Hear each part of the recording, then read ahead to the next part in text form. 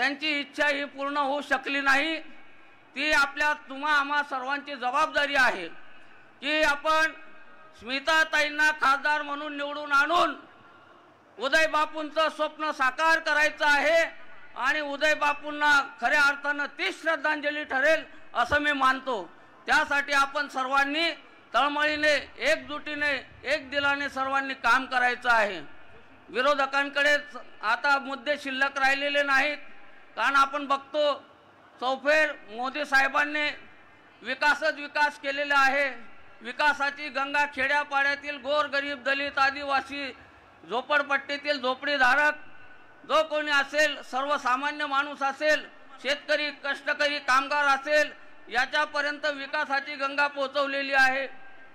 महिलांना देखील उज्ज्वला गॅसच्या माध्यमातून आपल्या या त्रासापासून मुक्त केलेलं आहे.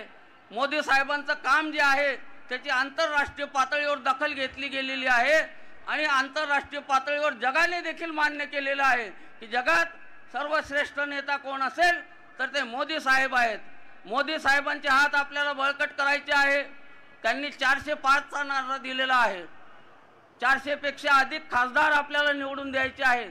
ते यासाठी बांधवांनो की ज्या वेळेला बहुमत असतं तर जे आपण निर्णय घेत असतो चांगले जे निर्णय आहेत जे तुम्हा आम्हा आपल्या सर्वांच्या फायद्यासाठीचे आहेत सर्वांच्या उत्कर्षाचे आहेत उन्नतीचे आहेत असे ठराव पास करताना बहुमताची आवश्यकता असते. आपल्याला माहिती आहे विरोधक विनाकारण चांगल्या कामामध्ये देखील खोळंबा घालतात विनाकारण चांगल्या कामाला मध्ये देखील अडथळे निर्माण करतात. तर यासाठी आपल्याला चारशे पारचा नारा दिलेला आहे मोदी साहेबांनी आणि तो आपल्याला प्रत्यक्षात उतरवून दाखवायचा आहे. तीनशे नव्याण्णव खासदार देशभरातून असतील आणि चारशेवा खासदार आमच्या स्मिताताई वाघ या ठरल्या पाहिजे असा संकल्प आपण सर्वांनी करायचा आहे. आपण बघतो आज येणारे आपले प्रमुख नेते नितीनजी गडकरी साहेब. नितीन गडकरी साहेबांनी विकासाची गंगा देशभरामध्ये पोचवलेली आहे. रस्त्याचं जाळं विणलेलं आहे. असं म्हटलं जातं ज्या राज्याचे ज्या देशाचे रस्ते हे जर का चांगले असले तर त्या राज्याचा विकास झाल्याशिवाय राहत नाही. मोदी आपल्या मोदी साहेबांच्या नेतृत्वामध्ये गडकरी साहेबांनी त्यांच्या कणखर नेतृत्वामध्ये या देशभरामध्ये संपूर्ण हायवे हायवेच हायवे तयार केलेत रस्त्याचं जाळं विणलं आणि भारताला सुजलाम सुफलाम करण्याचा प्रयत्न करत आहेत. इथेनॉलच्या निर्मितीमधून देखील शेतकऱ्यांना कष्टकऱ्यांना त्यांच्या कामाचा घामाचा मोबदला मिळवून देण्याचं काम नितीन गडकरी साहेब हे करत आहेत. त्यांच्या दूरदृष्टीतून आपण बघणार आहोत की पुढे आपल्याला हे जे डिझेल पेट्रोल आहे याची टंचाई निर्माण होऊ नये यासाठी नितीनजी गडकरी यांनी मास्टर प्लॅन आखलेला आहे. त्यासाठी ते इलेक्ट्रिकवर असो हायड्रोजनवर असो असे अनेक याच्यावर चालणाऱ्या गाड्या त्यांनी निर्माण करायचं ठरवलेलं आहे. नितीनजी गडकरी यांनी जे ठरवलं ते प्रत्यक्षामध्ये कृती करून दाखवल्याशिवाय राहत नाहीत. असे नितीनजी गडकरी साहेब आज आपल्याला या प्रसंगी जळगाव भेटीसाठी तुम्हा आपल्या सर्वांशी संवाद साधण्यासाठी येत आहेत. त्यांचंही आपल्याला जोरदार स्वागत करायचं आहे आणि त्यांनी दिलेला संदेश घरापर्यंत घेऊन जायचा आहे. सुविताताई वाघ यांना आपल्याला लोकसभेमध्ये पाठवायचं आहे. जेणेकरून नितीन गडकरीजींच्या मार्गदर्शनाखाली आपल्या जळगाव जिल्ह्यामध्ये देखील आता तर रस्ते चांगले आहेतच. आणखी रस्त्याचं अधिक जाळं विणण्याकरिता आपण स्मिताताईंना लोकसभेमध्ये पाठवूया. विरोधकांकडे मुद्दे शिल्लक नाहीत. त्यामुळे त्यांनी एकच मुद्दा भावनिक मुद्दा घेतलेला आहे. ते म्हणतात की हे भारतीय संविधान बदलण्याच्या ब- बदलण्यासाठी हे लागलेले आहेत.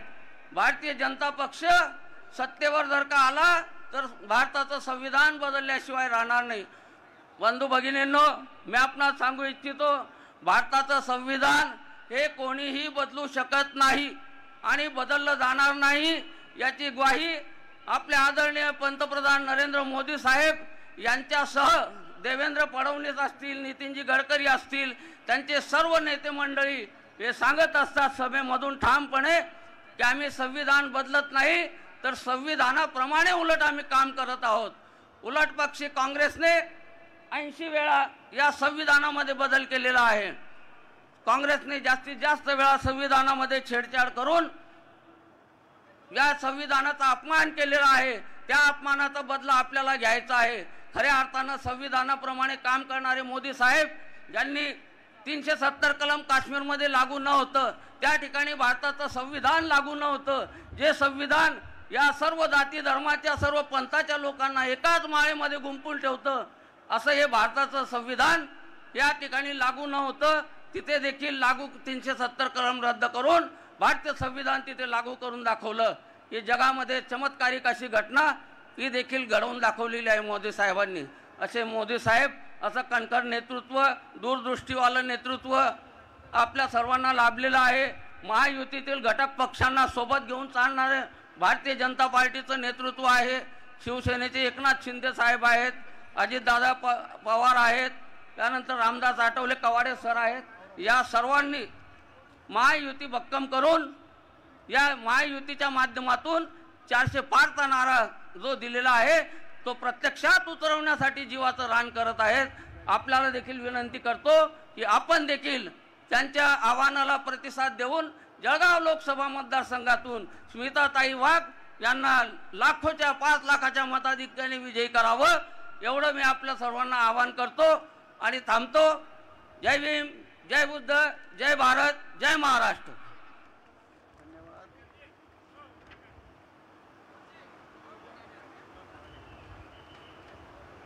माननीय पालकमंत्री आदरणीय गुलाबरावजी पाटील साहेब व्यासपीठावर आगमन होत आहे. त्याचप्रमाणे अनेक प्रमुख मान्यवर नेतेसुद्धा व्यासपीठावर आलेले आहेत. त्यांचं स्वागत करतो महायुतीच्या वतीनं. आदरणीय आबासाहेब चिमणरावजी पाटील हे देखील व्यासपीठावरती आगमन होत आहे. त्यांचं देखील स्वागत करतो. माननीय माजी आमदार जयप्रकाशजी बाविस्कर हे देखील व्यासपीठावरती आगमनस्थ झालेले आहेत. त्यांचंही स्वागत करतो. आत्ता मी आपल्यासमोर शिवसेनेच्या जिल्हा महिला अध्यक्षा सरिताताई कोल्हे यांना विनंती करतो की त्यांनी दोन मिनिटात. आपलं मनोगत व्यक्त करावं. सर्व बाकी त्यांना मी प्रार्थना करीन की आपलं मनोगत एक दोन मिनिटामध्ये व्यक्त करावं ही विनंती आहे. मनसे प्रदेशाचे नेते अभिजितजी पानसे व्यासपीठावरती आगमन झालेलं आहे. त्यांचं देखील मनापासून स्वागत करतो. धन्यवाद. अखंड हिंदुस्थानासाठी आयुष्याचं सार्थकी समर्पण करणाऱ्या सर्व महापुरुषांना महामातांना महासंतांना वंदन करते. विचार मंचावर उपस्थित माझे ज्येष्ठ श्रेष्ठ मार्गदर्शक सर्व नेत्यांना नमन करते. आज एक कौतुकाचा दिवस आहे. ज्या देशामध्ये भारताला देशाला माता म्हटलं जातं गाईला माता म्हटलं जातं मातीला माता म्हटलं जातं विठ्ठलाला माऊली म्हटलं जातं त्या देशामध्ये महिला किती सक्षम असते हे आदरणीय नरेंद्र मोदी यांनी सिद्ध करून दिलं आहे. आज मी कौतुकाने सांगते की समोर जर बघितलं अक्षय तृतीया हा सण लेकींचा सुनांचा सासवांचा मुलींचा आहे. आणि तरी देखील इतक्या मोठ्या संख्येने माझ्या माता भगिनी इथे उपस्थित राहिल्या. आज स्मिताताईंचा अर्धा विजय पक्का आहे. कारण आज स्मिताताईंसोबत अक्षय तृतीयाचा सण सोडून पुरणपोळी सोडून माहेर सासर सोडून सगळ्या बहिणी इथे आशीर्वाद द्यायला आलेल्या आहेत. मी माझ्या माता भगिनींना विनंती करते की समोरच्यांनी सांगितलं आहे की एक महिला खासदार कस काय होऊ शकते? एक महिला कसं काय केंद्रात जाऊ शकते? तर यांना जर एक महिला खासदार चालत नाही तर एक महिला मतदार कस काय चालेल? तर सगळ्या माता भगिनी निश्चय करायचा आहे महिलांना दुय्यम स्थान देणाऱ्या महिलांचा अपमान करणाऱ्या महिलांना तुच्छ समजणाऱ्या अशा ह्या लोकांना मतदान करायचं नाही. येणाऱ्या तेरा मे रोजी प्रभू श्रीरामांचं नाव घेऊन तीन नंबर कमळच्या फुलाचं मट- बटन दाबून आपल्या स्मिताताईंना आपल्याला बहुमतांनी निवडून द्यायचं आहे. आणि नारी शक्तीचा हा पर्व आहे नारी शक्तीचा हा विजय आहे हे सिद्ध करायचं आहे. आपल्या समाजामध्ये समज आहे की ज्या महिलेच्या पाठीशी पुरुष नसतो तिला समाजामध्ये राजकारणामध्ये किंमत नसते. पण आदरणीय नरेंद्र मोदीजींनी हे सिद्ध करून दिलेलं आहे की या भारतामध्ये दोघं महिला ज्या आहेत आपले उमेदवार त्यांच्या पाठीशी पुरुष नाही आहे त्याच्या पाठीशी युग पुरुष आहे. आणि याच्यासाठी आपण सर्वांनी एकमताने शपथ घ्यायची आहे की आपले साडी आणि चुडी याला जे कमकुवत समजतात आणि कमी लेखतात यांना तेरा मेला धडा शिकवायचा आहे आणि जास्तीत जास्त मतदान करायचं आहे. जास्त काळजी करायचं काम नाही. जळगाव शहरामध्ये जास्तीत जास्त महिला बचत गट महिला उद्योजक महिला सुरक्षा हे आपण बघतो आहे की या मतदारसंघामध्ये पैठणी बनायची ती फक्त येवल्यात बनायची. आता चाळीसगावमध्ये पैठणी बनते. प्रचाराच्या साहित्यापासून वडे पापड बिबडीपासून सगळ्यात जास्त उद्योग मुद्रा लोन बचत गट लोन हे आपल्याला आदरणीय नरेंद्र मोदीजींनी केलेलं आहे. आज माझी महिला रिक्षा चालवते आज माझी महिला इंजिनियर आहे. आज माझी महिला प्रत्येक ठिकाणी सक्षम आहे. तर आपण सगळ्या महिला भगिनींनी काहीच न विचार करता अगदी एकजुटीने एका ताकदीने शेजारी पाजारी मैत्रीण किटी बा- किटी गट बचत गट भिशी सगळ्यांना एकत्र घेऊन जास्तीत जास्त मतदान करून स्मिता त्यांना निवडून द्यायचा आहे आणि आपला हा नारी शक्तीचा विजय करायचा आहे. फूल नाही चिंगारी है हम भारत की नारी है हे आपल्याला त्या दिवशी सिद्ध करायचं आहे. तुम्हा सर्वांना हात जोडून विनंती करते. की प्रभू श्रीरामांचं नाव घ्यायचं आहे. आज आपल्याला राम लल्ला दिसले. आज या भारतामध्ये या महाराष्ट्रामध्ये प्रत्येक माणसाला आईचं नाव लावायला भाग पाडलं असे एकनाथजी शिंदे साहेब आहेत. जळगाव ग्रामीणचे आमचे वाघांचे जे खानदेशी तोप म्हटले जातात आमचे गुलाबरावजी पाटील आहेत. आमचे गिरीश भाऊ महाजन आहेत आमचे अनिल भाईदास आहेत आमचे राजू मामा आहेत. आणि असे भाऊ ज्या बहिणीच्या पाठीशी उभे राहिले ना त्या बहिणीला कुठे झुकायची वेळ येणार नाही आणि कुठे हारायची वेळ येणार नाही. आपलं निवडणं आपल्या ताईचं निवडणं निश्चित आहे पण ते बहुमताने निवडणं आणि समोरच्यांना कसं धूळ चाटवणं हे जास्त महत्वाचं आहे. जय हिंद जय महाराष्ट्र जय श्रीराम. धन्यवाद ताई. आपण खरंच म्हटल्याप्रमाणे दोन मिनिटांमध्ये आपलं वक्तव्य आटोपलं. एकदा जोरात भारत माता की! वंदे! वंदे! जय श्रीराम! धन्यवाद. मी भारतीय जनता पक्षाचे पश्चिम जळगाव जिल्हा अध्यक्ष हरिभक्त परायण ज्ञानेश्वरजी जळकेकर महाराज यांना व्यासपीठावर आमंत्रित करतो. त्यांनी आम्हाला मार्गदर्शन करावं. धन्यवाद. भारत माता की. आवाज जरा जोरात येऊ द्या दोन्ही हातवर करून. भारत माता की. भारत माता की. जय श्रीराम। जय श्रीराम। आजच्या आपल्या जळगाव लोकसभा मतदारसंघाच्या लोकप्रिय उमेदवार श्रीमती स्मिताताई वाघ यांच्या प्रचाराच्या निमित्ताने आपल्या देशाचे रस्ते परिवहन मंत्री आदरणीय नामदार नितीनजी गडकरी साहेब यांच्या प्रचार सभेच्या निमित्ताने व्यासपीठावर उपस्थित आपल्या सर्वांचे लाडके पालकमंत्री मान्य नामदार गुलाबरावजी पाटील साहेब मदत पुनर्वसन मंत्री आदरणीय मान्य नामदार अनिलदादा पाटील आपल्या उमेदवार श्रीमती स्मिताताई वाघ ज्येष्ठ आमदार आदरणीय चिमनरावजी आबा आदरणीय अभिजितजी पानसे जयप्रकाश अण्णा आपल्या सर्वांचे लाडके आमदार राजूमामा भोडे उज्ज्वलाताई आणि महायुतीचे सर्व जिल्हाध्यक्ष पदाधिकारी बांधवांनो आपल्या लोकसभेची निवडणूक आता अंतिम टप्प्यामध्ये आलेली आहे. आणि या निवडणुकीच्या निमित्ताने आता आपण सगळ्यांनी मनामध्ये तो चंग बांधलेला आहे की आपल्याला की आता या लोकसभेच्या निमित्तातून आपल्याला पुन्हा एकदा मोदी साहेबांना तिसऱ्यांदा प्रधानमंत्रीपदी विराजमान करायचंय. त्याच्याकरता तेरा तारखेला आपल्याला स्मिता ताईला प्रचंड मतांनी विजयी करायचंय. बांधवांनो ही निवडणूक ग्रामपंचायतची नाही ही निवडणूक पंचायत समिती जिल्हा परिषदेची नाही ही निवडणूक नगरपालिका किंवा महानगरपालिकेची नाही ही निवडणूक भाजपासाठी जितकी महत्वाची आहे त्याच्यापेक्षा जास्त निवडणूक या भारतासाठी महत्वाची आहे या देशासाठी महत्वाची आहे. या देशाच्या अस्मितेसाठी महत्त्वाचे. अबकी बार चार सो पार. हा नारा जो आपण देतोय मित्रांनो नारा देण्यामागे आपल्या देशातील एस सी आणि एस टी बांधव जे या बांधवांना संरक्षण देता यावं. यांच्या आरक्षणाला धक्का पोहोचता कामा नये. यांच्या न्याय हक्काला बळकटीकरण देता आलं पाहिजे. आणि आज काश्मीरपासून कन्याकुमारी पर्यंत ज्या पद्धतीने भारत माता के जय म्हटलं जातं उद्याच्या काळामध्ये जगाने सुद्धा भारत माता की जय म्हणावं याच्याकरता चारशे पारचा नारा आहे. विश्वाने सुद्धा भारताचं नेतृत्व मान्य करावं याच्याकरता चारशे पारचा नारा आपण देतोय. मित्रांनो दोन हजार तेराला गोव्याच्या राष्ट्रीय अधिवेशनामध्ये राष्ट्रीय अध्यक्ष माननीय राजनाथ सिंग होते. आणि त्यांनी नरेंद्रजी मोदी साहेबांना आपला चेहरा म्हणून या ठिकाणी उपस्थित केलं होतं. दोन हजार चौदाला मोदी साहेबांकडून जनतेने आशा व्यक्त केल्या. चौदा ते एकोणावीस मोदी साहेबांनी भारतीय जनता पार्टीने देशाचा केलेला विकास हा विश्वासामध्ये परिवर्तित झाला. चौदाची आशा एकोणीसचा विश्वास म्हणून दोन हजार चोवीसमध्ये मोदीजी सांगतायत मोदी की गॅरंटी आता विकासाची गॅरंटी मोदी साहेब आपल्याला प्रत्येकाला देत आहेत बांधवांना या मतदारसंघातून आपल्या सर्वांच्या लाडक्या नेते संकट मोचक मान्य नामदार गिरीश भाऊंच्या मार्गदर्शनाखाली आपण सगळेजण तोला मोलाचे पदाधिकारी काम करत आहात. आपले दुसरे मंत्री गुलाबराव पाटील अनिल दादा या तीनही मंत्र्यांच्या मार्गदर्शनाखाली महायुतीचे सगळे कार्यकर्ते कामाला लागले.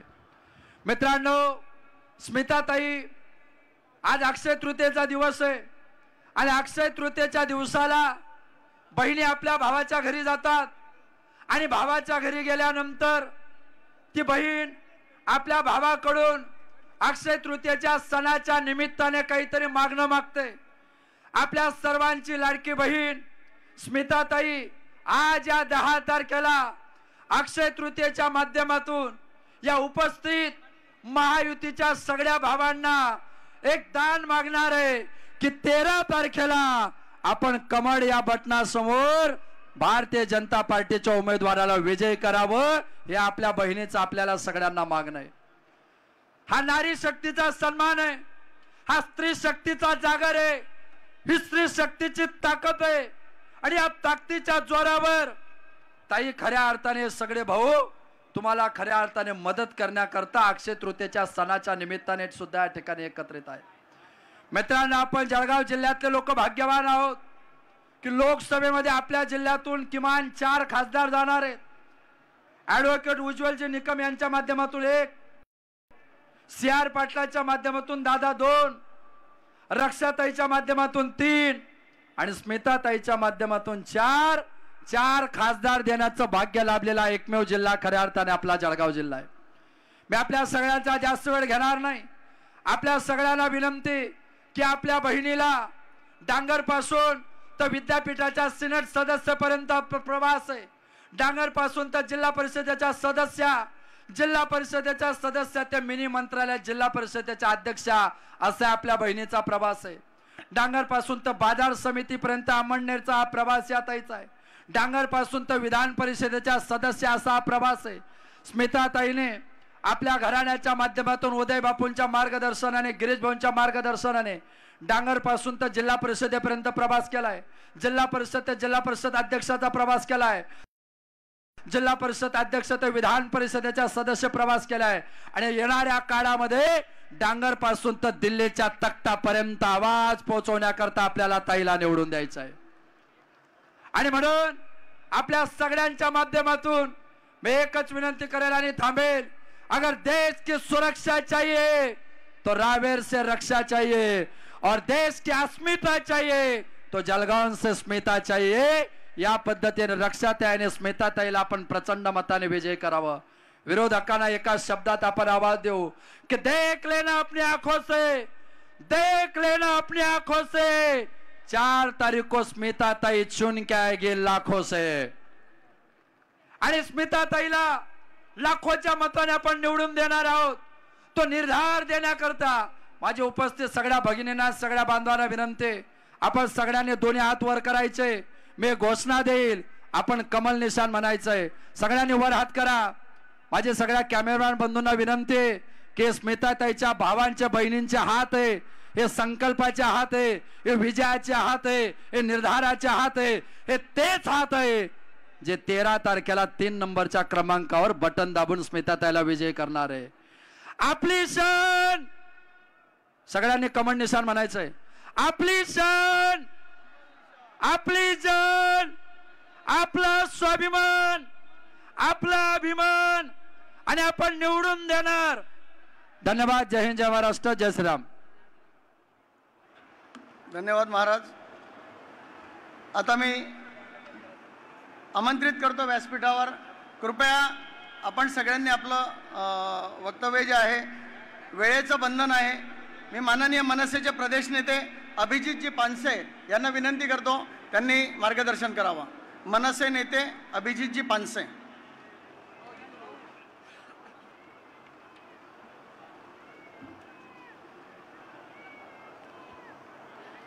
सन्माननीय राजसाहेब आणि व्यासपीठावरच्या मान्यवरांना सगळ्यांना वंदन करून तुमच्यासमोर बोलतो.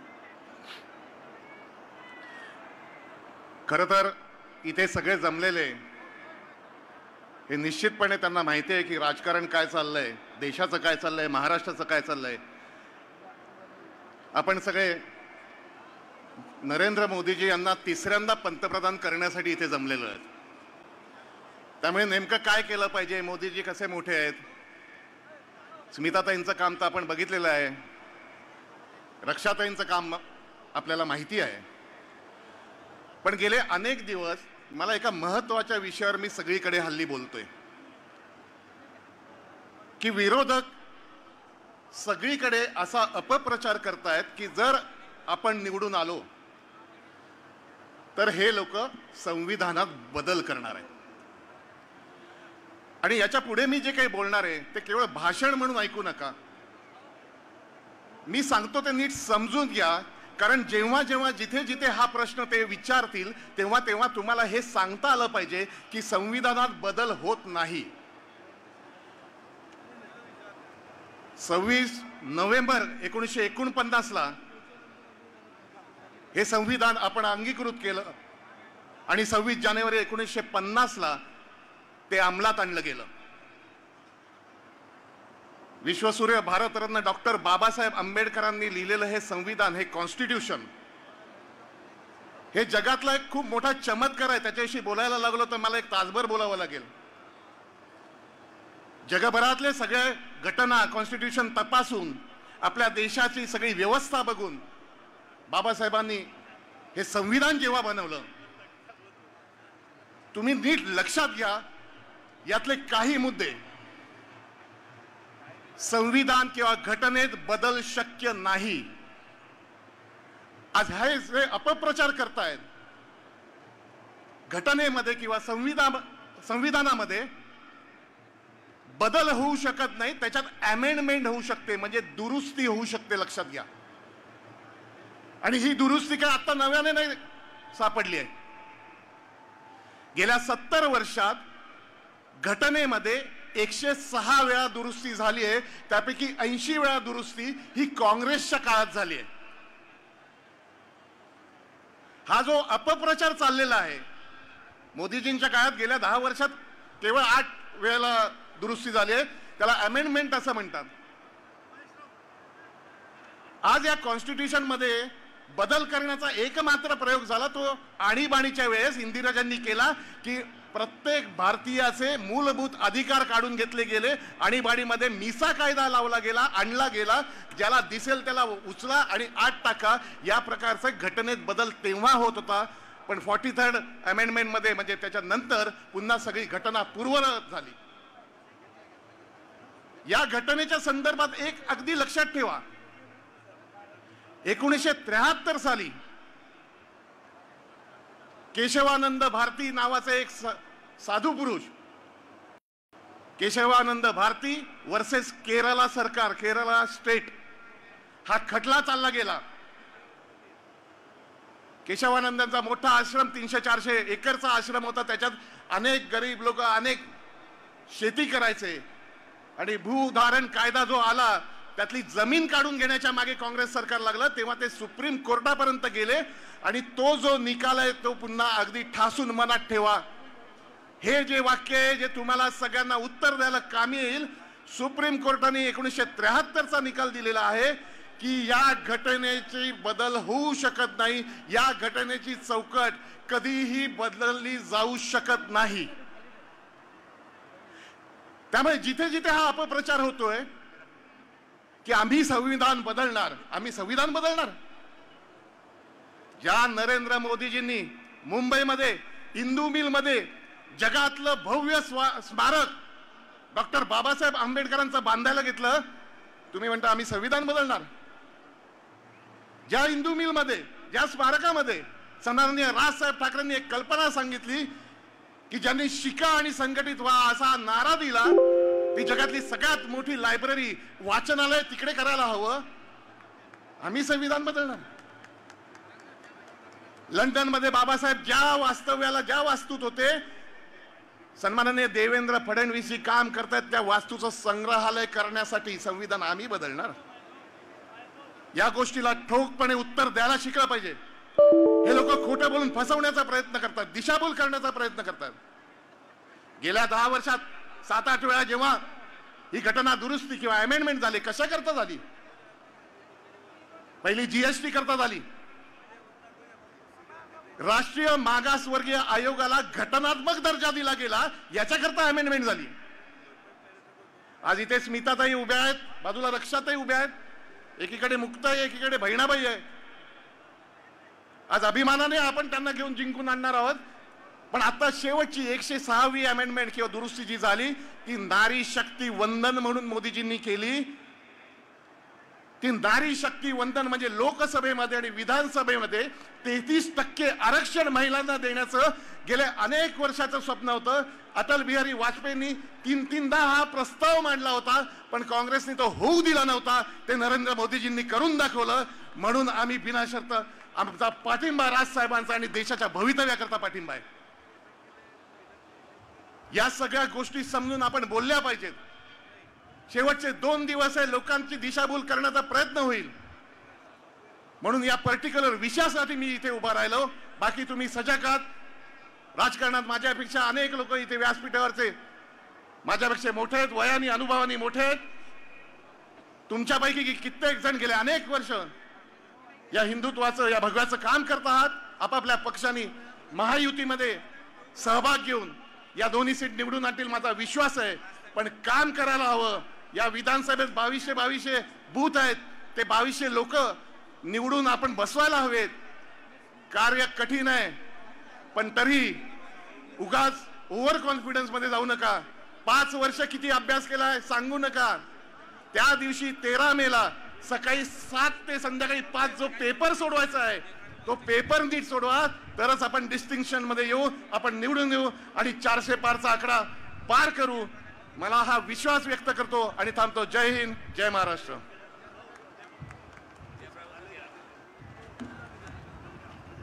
धन्यवाद. अभिजितजी आपण अतिशय उत्कृष्ट असं मार्गदर्शन केलं. घटनेच्या संदर्भामध्ये खूप छान माहिती दिली. मी यानंतर आमंत्रित करतो माजी आमदार आदरणीय जयप्रकाशजी भाविस्कर यांनी कृपया त्यांना माहिती ते घड्याळ लावूनच बोलतात. धन्यवाद.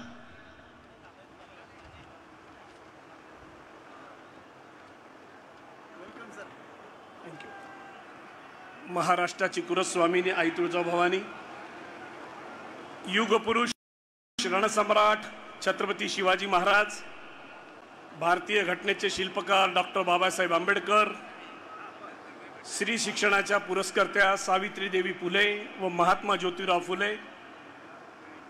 थोर विचारवंत तथा समाजसुधारक प्रबोधनकार ठाकरे हिंदू हृदय सम्राट स्वर्गीय बाळासाहेब ठाकरे यांच्या पवित्र स्मृतीस विनम्र अभिवादन करून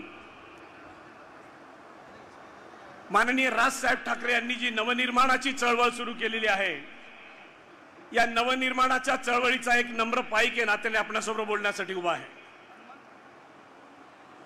आज या ठिकाणी जळगाव लोकसभा मतदारसंघाच्या महायुतीच्या उमेदवार स्मिता वाघ यांच्या प्रचारार्थ नितीन गडकरी साहेब येत आहेत.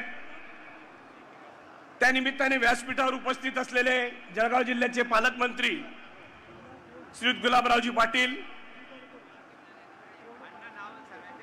दुसरे मंत्री सन्माननीय अनिल भाईदासजी पाटील सर्व व्यासपीठावरील आमदार किशोरप्पा राजूमामा भोळे चंदूभाई पटेल माजी खासदार एटी नाना पाटील सर्व व्यासपीठावरील आमदार खासदार माजी खासदार माजी आमदार महायुतीच्या सर्व पक्षांचे पदाधिकारी आणि या ठिकाणी जमलेल्या स्मिता वाघ यांना खासदार करण्यासाठी अत्यंत उत्सुक असलेल्या सर्व जळगाव लोकसभा मतदारसंघातील मतदार बंधू भगिनी आणि मातांनो आज नितीन गडकरी साहेबांबरोबर खूप वर्षानंतर योग येणार आहे. त्या निमित्ताने जुन्या आठवणी येत आहेत. गडकरी साहेबांनी मी पाच वर्ष सोबत काम केलेलं आहे. मी विधान परिषदेचा आमदार होतो ते आमच्या सभागृहाचे गडकरी साहेब नेते होते.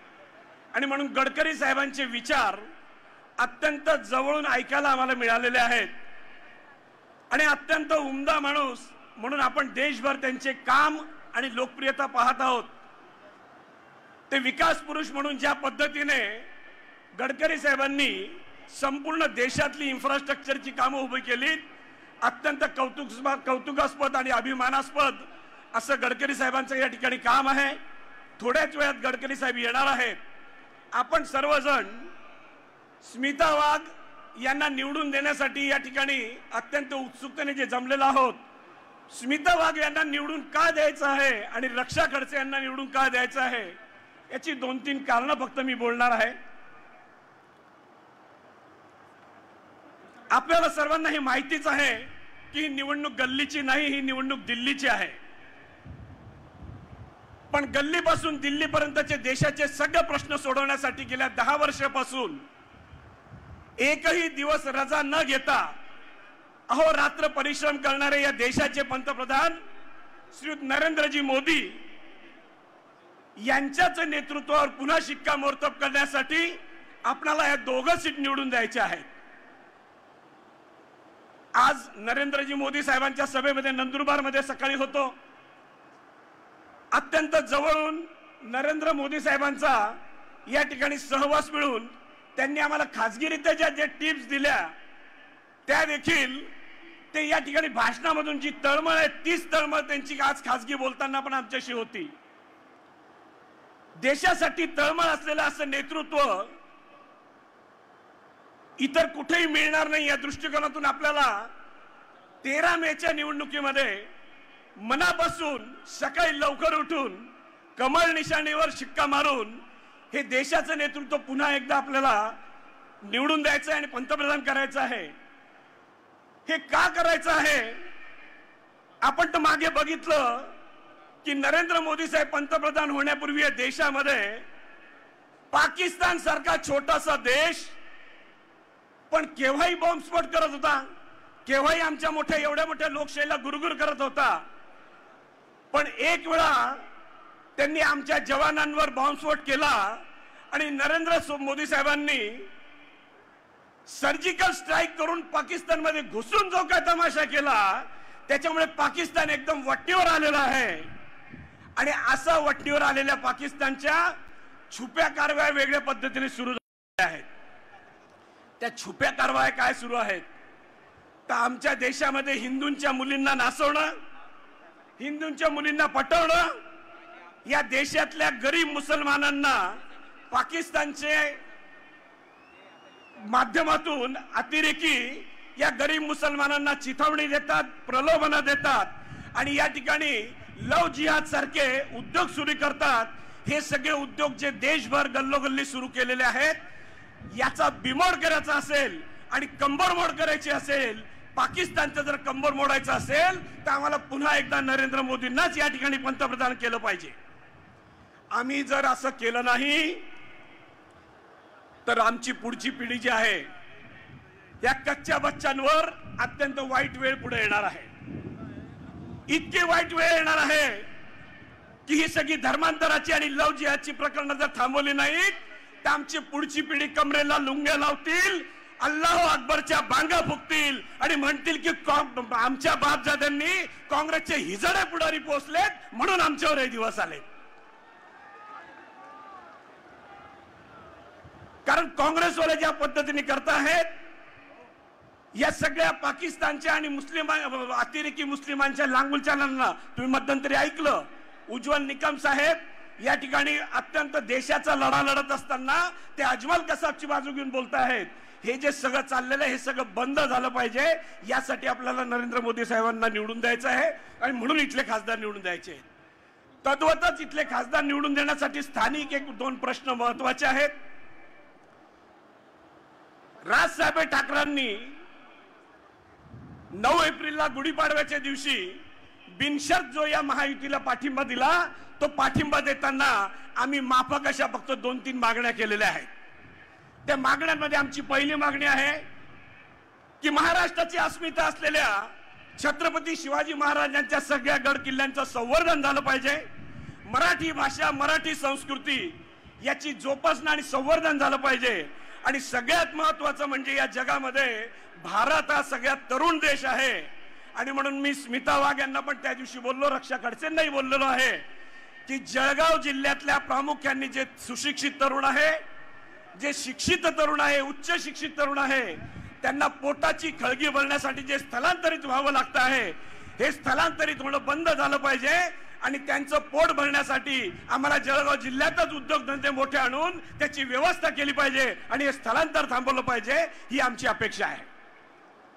बिनशर्त पाठिंबा देताना राजसाहेब ज्या पद्धतीने तुम्ही बघितलं असेल की महाराष्ट्राचं राजकारण अत्यंत गढूळ झालेलं असताना राजसाहेबांनी बिनशर्त पाठिंबा दिलेला आहे. पण एक गढूळ राजकारणाची सुरुवात केव्हा झाली? गढूळ राजकारणाची सुरुवात कोणी केली? संपूर्ण आयुष्यभर स्वर्गीय हिंदू हृदय सम्राट बाळासाहेब ठाकरे यांनी ज्या काँग्रेसच्या विरुद्ध लढा दिला त्या काँग्रेसच्या मांडीवर जाऊन जेव्हा शिवसेना बसली तेव्हापासून या गढूळ राजकारणाला सगळी सुरुवात झालेली आहे. आणि म्हणून उद्धवा अजब तुझा कारभार असं म्हणावं लागतं. कारण बाळासाहेबांनी जे आयुष्यभर केलं त्याच्या नेमकं विरुद्ध उद्धव ठाकरेंनी केलं. आणि म्हणून हे गढूळ राजकारणाला सुरुवात झाली. हे गढूळ राजकारण जर थांबवायचं असेल आणि अत्यंत नीतिमत्तेने आणि विचाराने आणि सचोटीचं राजकारण करणारे बाळासाहेब ठाकरेंचे खरे वारसदार म्हणून ज्या पद्धतीने राजसाहेब ठाकरे काम करत आहेत हे सचोटीचं विचाराचं अत्यंत चांगल्या राजकारणाची ताकद या ठिकाणी महायुतीला आता मिळालेली ती बळ मिळालेलं आहे. आणि या बळाच्या माध्यमातून महाराष्ट्रभरामध्ये महाराष्ट्र नवनिर्माण सेनेचे सर्व कार्यकर्ते अत्यंत झटून कामाला लागलेले आहेत. आणि महायुतीचा जोरदार विजय या महाराष्ट्रामध्ये होईल याचा मला विश्वास आहे. आपणा सर्वांना तेरा तारखेला ही सुबुद्धी आई जगदंबा देव आपण सर्वांनी सकाळी उठून देवपूजा करून आपण सरळ कमळ निशाणीला देऊन महायुतीचा विजय करावा यासाठी आपणा सर्वांना आई जगदंबा उदाहरण आयुष्य दो बलदंड शक्ती देव आणि सुबुद्धी देव अशी शिवचरणी प्रार्थना करतो आणि माझे दोन शब्द संपवितो. जय हिंद जय महाराष्ट्र. धन्यवाद अण्णासाहेब. मी यानंतर आमंत्रित करतो व्यासपीठावर. आदरणीय चाळीसगावचं एक प्रखर नेतृत्व आणि जळगाव जिल्ह्यामध्ये गिरीश भाऊंच्या बरोबर काम करणारं एक नेतृत्व आदरणीय मंगेश दादा आमदार साहेब आपल्याला विनंती करतो आपण मार्गदर्शन करावं.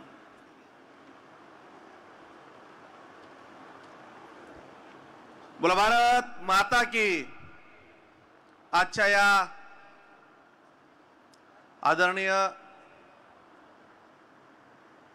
गडकरी साहेबांच्या सभेसाठी मंचावर उपस्थित सन्माननीय मंच उपस्थित दोनही लोकसभा मतदारसंघातील मतदार बंधू आणि भगिनी तरुण मित्रांनो बांधवांनो भगिनींनो पत्रकार बंधूंनो खरं तर देशाचं भवितव्य घडवणारी निवडणूक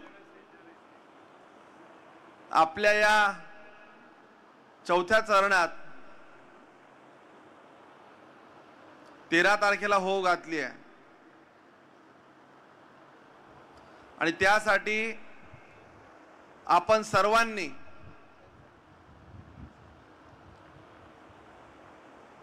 ज्यांनी या देशाला एका उंचीवर नेलं देशाचा गौरव नुसत्या आपल्याच देशात नाही कुठल्याही देशात गेलं तर अभिमानाने ऊर भरून यावा अशी ज्यांनी ख्याती मिळवून दिली त्या मोदीजींना पुन्हा पंतप्रधान करण्यासाठी तीन नंबरच्या निशाणीवर स्मिताताईंना आपल्याला बटन दाबून प्रचंड मताधिक्याने निवडून द्यायचं आहे. खरं तर हे देशाचं इलेक्शन आहे. या देशात आजवर काय झालं? मागच्या मॅनिफेस्टोमध्ये दिलेले मुद्दे आपण कशा पद्धतीने प्रभावी करू शकले ते मोदीजी मांडताय. महाराष्ट्राचा लाडकं नेतृत्व देवेंद्रजी मांडताय. आज ज्यांनी अक्षरशः देशभरात रोडकरी म्हणून ख्याती कमवली जिकडे जावा तिकडे रस्ते अगोदरची परिस्थिती गुलाब भाऊ तुम्ही काहीतरी वेगळं वाक्य म्हणायचे. खड्ड्यात रस्ता की रस्त्यात खड्डा? कोणाच्या तरी गालाची उपमा द्यायची पण आज परिस्थिती अशी आहे. ज्या टी व्हीमध्ये पिक्चरमध्ये आपण बघायचो एखादा सिनेमा एखादी हिरो हिरोईन तो अतिशय छान रस्ता दिसायचा. सहा सहा लेन गाड्या चालायच्या. आपल्याला असं वाटायचं की हे चित्र कदाचित आपल्यासाठी हे स्वप्नवतच असेल. ते स्वप्न ज्या माणसाने सत्यात उतरवलं ती व्यक्ती आज आपल्याला इथं संबोधन करण्यासाठी येणार आहे. अशा पद्धतीचे रस्ते आपण फक्त टीव्ही आणि पिक्चर आणि स्वप्नात बघायचो. ते काम मोदीजींच्या नेतृत्वाखाली गडकरी साहेबांनी करून दाखवलं? भावांनो विरोधी पक्ष आज कुठल्या विषयावर बोलताय? इलेक्शन हे दिल्लीचं आहे. ते गल्लीवर बोलताय. वेगवेगळे मुद्दे भरकवटण्याचा प्रयत्न करताय. ते कधीही आकडेवारी मांडत नाही. अरे एखादा राजकीय विरोधक असेल तर त्याने सांगितलं पाहिजे की मागच्या दहा वर्षाच्या कार्यकाळात एवढी कामं झाली गडकरींच्या कामात एवढी कामं होऊ शकली नाही परंतु ते हे मांडत नाही. विकासाची तुलनाच करायला तयार नाही आहे ती फक्त मनभेद मतभेद करण्यामध्ये व्यस्त झालेली आहे.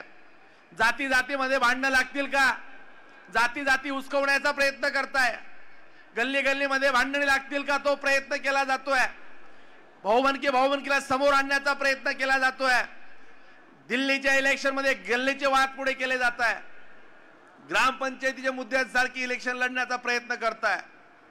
पुन्हा तुम्हाला सांगतो भावांनो आपल्याला मो- मोठी जबाबदारीने तेरा तारखेला मतदान करायचं आहे तुम्ही ज्या ताकदीने इथं आलात त्याच ताकदीने इथून गेल्यानंतर आपल्या गल्लीतल्या भावाला बहिणीला मित्राला सहकार्याला नातेवाईकाला साडू साला पाहुणा जो कोणी असेल संपर्कातल्या प्रत्येकाला सांगावं लागेल.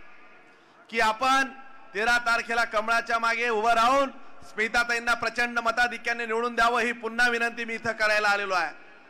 या जिल्ह्यामध्ये विकास कामांची गंगोत्री तुम्ही सगळेजण पाहताय.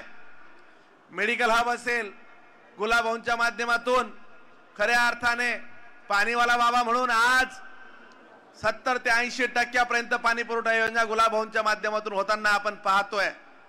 वर्षानुवर्ष डोक्यावर हंडा काखेत कळशी घेऊन फिरणारी माता भगिनी आज जलजीवन मिशन सारख्या केंद्राच्या योजनेच्या माध्यमातून प्रत्येक गावा गावात आज पाणी पोहोचत आहे रस्ते पोहोचत आहे मूलभूत सुविधा पासष्ट वर्षानंतर गरिबी हटावचा नारा देणाऱ्या या काँग्रेस व त्याच्या मित्रपक्षांना कधीही गरिबी हटवता आली नाही. आणि आज पुन्हा तोच मुद्दा घेऊन ते पुढे येत आहे. गरिबी हटावचा नारा दिला खऱ्या अर्थाने तो नारा फक्त नारा राहिला. या गरिबी हटावच्या माध्यमातून खऱ्या अर्थाने गरिबी हटवण्याचा प्रयत्न कोणी केला असेल तर आदरणीय मोदीजींनी केला आहे प्रत्येक भगिनीचं प्रत्येक भावाचं प्रत्येक शेतकऱ्याचं प्रत्येक सर्वसामान्य माणसाचं बँकेत खातं असलं पाहिजे. हा विचार पहिल्यांदा मोदीजींच्या मनात आला. प्रत्येक माणसाला स्वतःचं हक्काचं घर असलं पाहिजे. पंतप्रधान आवाज सारखी योजना या माणसाने आली प्रत्येक क्षेत्रात काम करत असताना तरुणांना उद्योगासाठी प्रोत्साहन दिलं पाहिजे.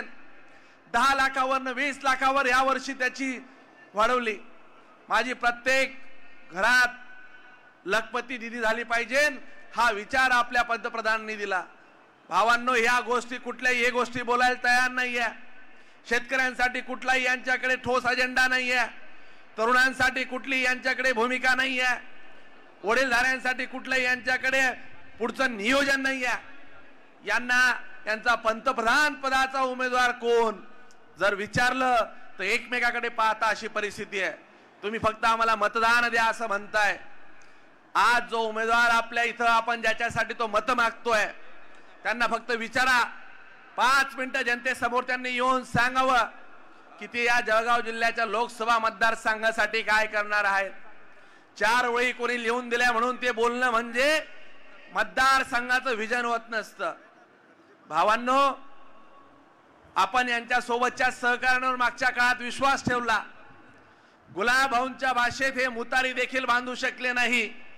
म्हणून त्यांचं ज्या पद्धतीने पक्षात अवहेलना झाली तिकीट कापलं गेलं त्याची कारणं अनेकदा काही लोकांनी सांगितली परंतु त्यांना फार आज महत्त्व देण्याची गरज नाही आहे आपल्याला दिशाभूल करण्याचा प्रयत्न होत असेल तर आपली दिशा आणि दशा ही एकदम स्वयंस्पष्ट ठेवली पाहिजे.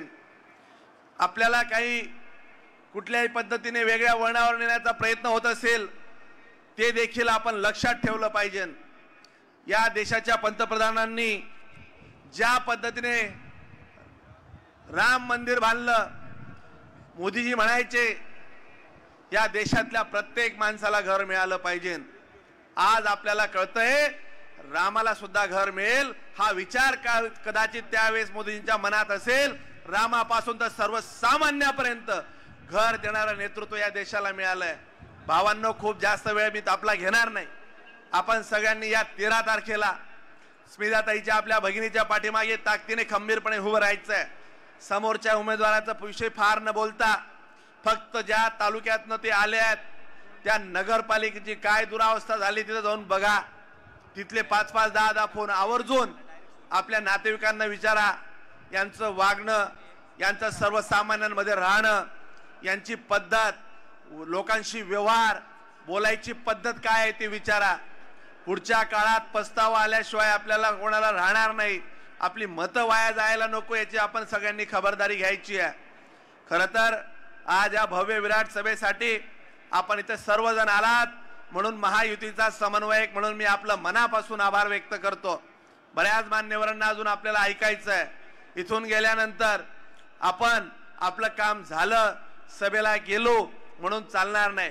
सगळ्यांनी एकदा वरती हात करायचा आहे कंटाळा करायचा नाही आहे माझ्या माता भगिनींच्या वरती हात दिसत आहे बाबा तुमचा टोपीवाला बाबा हात दिसत नाही आहे तुम्ही घाबरू नका. आजीने घरी जेवण करून ठेवलंय. वरती हात करा. सगळ्यांनी एकदाच संकल्प करा. स्मिताताईसाठी आम्ही सगळेजण तेरा तारखेला सकाळी सात वाजेनंतर सर्वात पहिले काम करून कमळाच्या तीन नंबर निशाणीवर बटन दाबणार आहोत. बोल भारत माता की. अब की बार. अब की बार. धन्यवाद जय हिंद जय महाराष्ट्र. आदरणीय नितीनजी गडकरी साहेब एक पाच सात मिनिटांमध्ये जळगावात पोहोचत आहेत. ते लगेच व्यासपीठाकडे येणार आहे. आणि त्याचबरोबर महाराष्ट्राचे प्रदेश अध्यक्ष भारतीय जनता पक्षाचे आदरणीय चंद्रशेखरजी बावनकुळे साहेब देखील येत आहेत. मी राजू मामांना आमंत्रित करतो. कृपया त्यांनी मार्गदर्शन करावं. बोला भारत माता की भारत माता की वंदे वंदे. आज आपल्या या प्रचंड सभेला आदरणीय आपण नामदार गडकरी साहेबांना ऐकायला आलेला आहात. आदरणीय स्मिताताईच्या या प्रचाराच्या सभेसाठी आदरणीय पालकमंत्री गुलाबरावजी पाटील अनिलदादाजी पाटील स्मिताताई चिमनआबा पाटील किशोरआबा मंगेशदादा इटे नाना साहेब जयप्रकाश बावीसकरजी अभिजितजी पानसरे उल्हासदादा पाटील चंदूभाई पटेल जळकेकर महाराज उज्ज्वलाताई बेंडाळे राजू मोरे वंदनताई काळे गणेशजी सोनवणे सरिताताई माळी भारतीताई सोनवणे सर्व मंडलाध्यक्ष सर्व पदाधिकारी माता बंधू भगिनी मित्रांनो.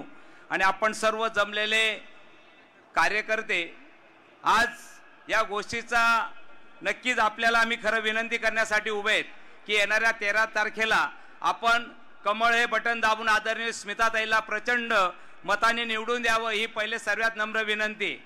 आज खरं ज्या गडकरी साहेबांची आपण नामदार गडकरी साहेबांची सभा ऐकतोय त्यांनी आपल्या जिल्ह्यासाठी कमीत कमी शेहेचाळीसशे कोटी रुपये आपल्या जिल्ह्यासाठी दिलेले आहेत. आणि जळगाव शहरासाठी कमीत कमी एकशे बत्तीस कोटी रुपये जळगाव शहरासाठी दिलेले आहेत. आदरणीय गुलाबो असतील गिरीशबो असतील यांच्या माध्यमातून जळगाव जिल्ह्यामध्ये जो जो पंच्याऐंशी कोटीच्या वरती निधी आपल्या जळगाव शहरामध्ये नक्कीच दिलेला आहे. आणि या माध्यमातून आज बघत असाल तर आपण सर्वजण ताईला आशीर्वाद देण्यासाठी आलेले आहात म्हणून मी आपल्या सर्वांचं स्वागत करतो आणि विनंती करतो की येणाऱ्या तेरा तारखेला आपण मतदान करावं. फक्त एकच विनंती करेल काही लोकांनी आदरणीय नामदार गिरीश भाऊवरती संकट मोचांच्या ऐवजी संकट म्हटलं मला नम्रपणे सांगायचं आहे की जळगाव महापालिका कर्जमुक्त केली. हे संकट होतं का? जळगावसाठी निधी आला ते संकट होतं का? जळगाव शहरासाठी मेडिकल हब आलं ते संकट होतं का? जळगावला स्टेडियम आलं ते संकट होतं का? आज बघत असाल तुम्ही तर पंचवीस पंधराच्या माध्यमातून जळगाव शहरात जिल्ह्यामध्ये मोठ्या प्रमाणात निधी दिला. हे संकट होतं का? मला वाटतं जनतेला सर्व माहिती आहे. की कोण काम करतं कोण करत नाही. आज आपल्याला ही वेळ आलेली आहे की आपण कमळ ह्या याच्यावरती बटन दाबून ताईंना आशीर्वाद द्यावे आणि आपलं मत हे डायरेक्ट मोदी साहेबाला जाणार आहे. आपण या पाहत असाल ते विकसित भारताचे आपण भागीदार होणार आहोत. म्हणून मला नम्रपणे विनंती करायची की वेळ कमी आहे. मी फार कमी वेळात बोलणारे आदरणीय गडकरी साहेब येत आहे. म्हणून आपल्याला नम्रपणे करत सांगेल की आपण जितके आले इतके तर कळमाला मतदान करणारच. पण आता प्रत्येकाने ठरवायचं की मी पन्नास लोकांना अजून मतदान घ्यायला घेऊन जाईल आणि कमळ या चिन्हावरती बटन दाबेल ही आपल्याला विनंती करतो व आपण सर्व मोठ्या संख्येने आलात म्हणून आपल्या सर्वांचं स्वागत करतो. जय हिंद जय महाराष्ट्र.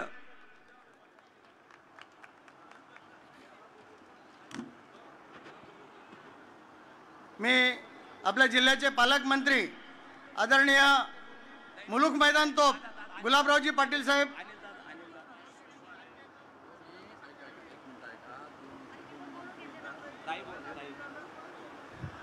आपल्याशी प्रथमतः अनिलदादा पाटील हे हितगुज करतील. माननीय मंत्री महोदय कृपया मी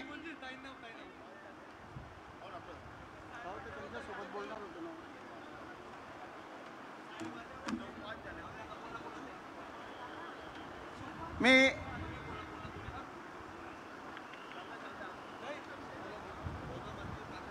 मी तेच म्हणतोय ना मग. ताई जय श्रीराम। जय जय श्रीराम।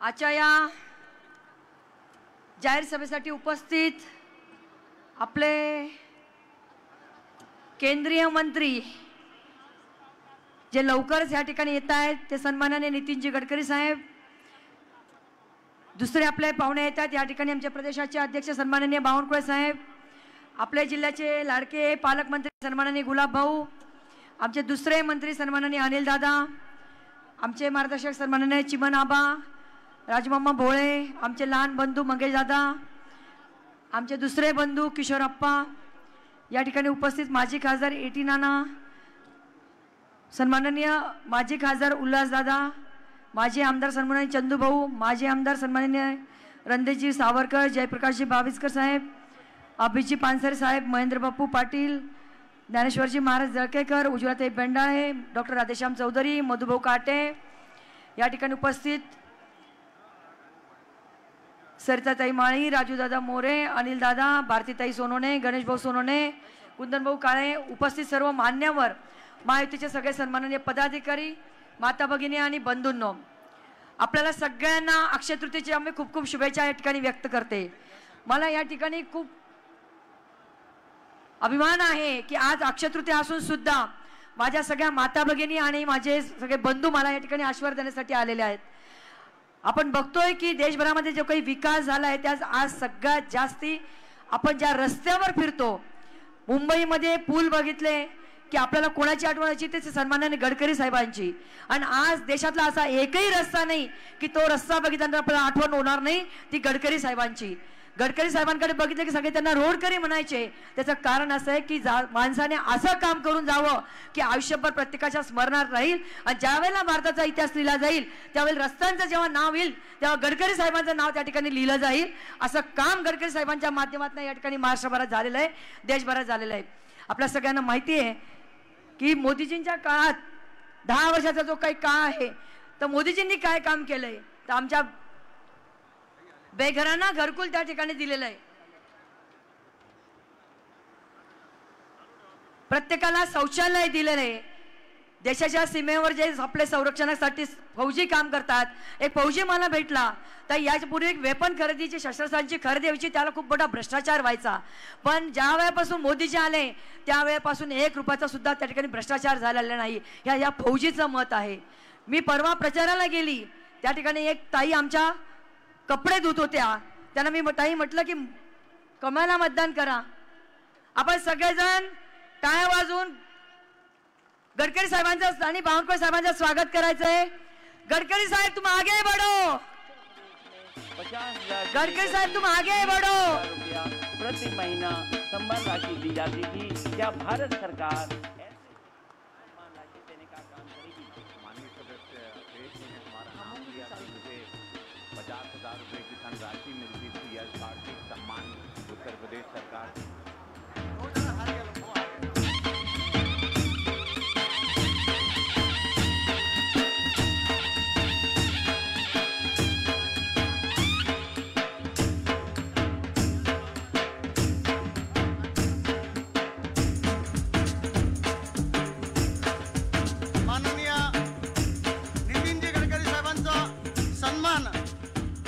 जिल्ह्याच्या वतीनं डॉक्टर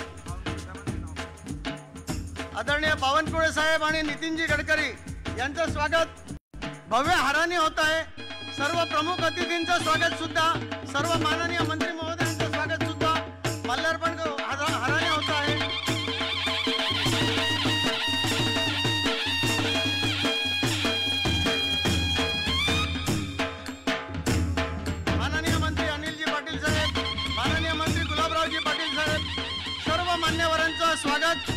एकाच होत आहे.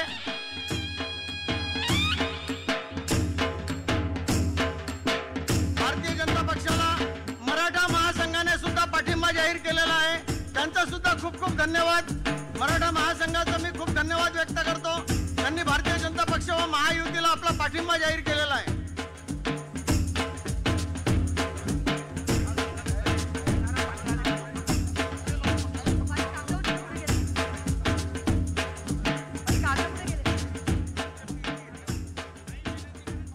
हो हो. वेळ कमी असल्यामुळे मी फार आता काही जास्त बोलणार नाही. मी आपल्या सगळ्यांना एवढंच म्हणणार आहे की भारतीय जनता पार्टीच्या माध्यमातून वेगवेगळ्या पदांवर काम करता आलं आणि जनतेची सेवा करता आली. हो. जनतेची सेवा करता आली. मी एवढंच आपल्या सगळ्यांना सांगेल. मी तुमच्यातलीच एक या ठिकाणी उभी आहे.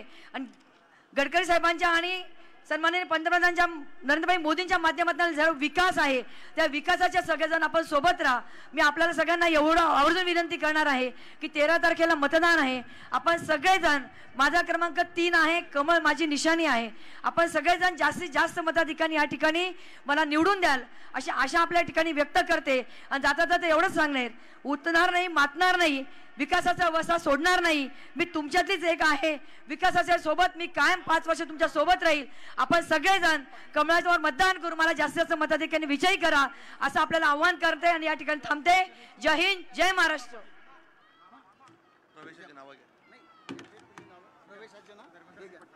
वेळेचा अभाव असल्यामुळे आज शेती आणि मातीशी नाळ असलेलं व्यक्तिमत्व ज्यांनी दहा वर्ष विधानसभेचं प्रतिनिधित्व केलं ते एरंडोलचे भूमिपुत्र महेंद्रसिंह पाटील रघुवीरसिंह पाटील नरेंद्रसिंह पाटील यांच्यासह त्यांच्या सर्व भगिनी व सर्व त्यांचे सहकारी आज भारतीय जनता पार्टीच्या नेतृत्वावर विश्वास ठेवून भारतीय जनता पार्टीमध्ये प्रवेश करतायत. सगळ्यांनी एकदा जोरदार जाहीर टाळ्या वाजून यांचं सगळ्यांनी परिवारामध्ये स्वागत करूया. डॉक्टर सूर्यकांतजी पाटील उद्योजक एरंडोल कासोदा यांचं देखील आज भारतीय जनता पार्टीमध्ये आदरणीय गडकरी साहेबांच्या हाताने प्रवेश सोहळा संपन्न झाला. शिवसेनेचे महानगर प्रमुख आदरणीय मंगलाताई बारी यांनी देखील प्रवेशा सोहळ्यासाठी तर जायचं आणि प्रवेश घ्यायचा आहे.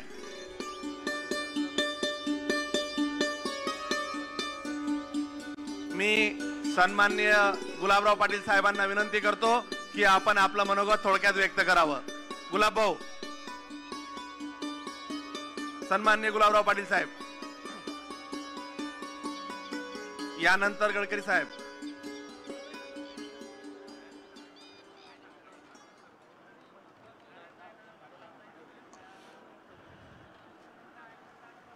जळगाव लोकसभा मतदारसंघाच्या प्रचार सभेसाठी उपस्थित असलेले ज्यांना हिंदू हृदय सम्राट बाळासाहेब नेहमी पुलकरी म्हणायचे तसे पुलकरी रोड आपल्या सगळ्यांचे लाडके गडकरी साहेब व्यासपीठावर उपस्थित असलेले माननीय नामदार अनिलजी भाईदास पाटील साहेब सगळे सन्माननीय आमदार महोदय सगळ्या पक्षाचे Shivsena Bhajap R P I Rasapa त्याचप्रमाणे क्रांती सगळे सन्माननीय पक्षाचे पदाधिकारी समोर बसलेल्या सगळ्या माझ्या बंधू भगिनी आणि पत्रकार मित्रांनो.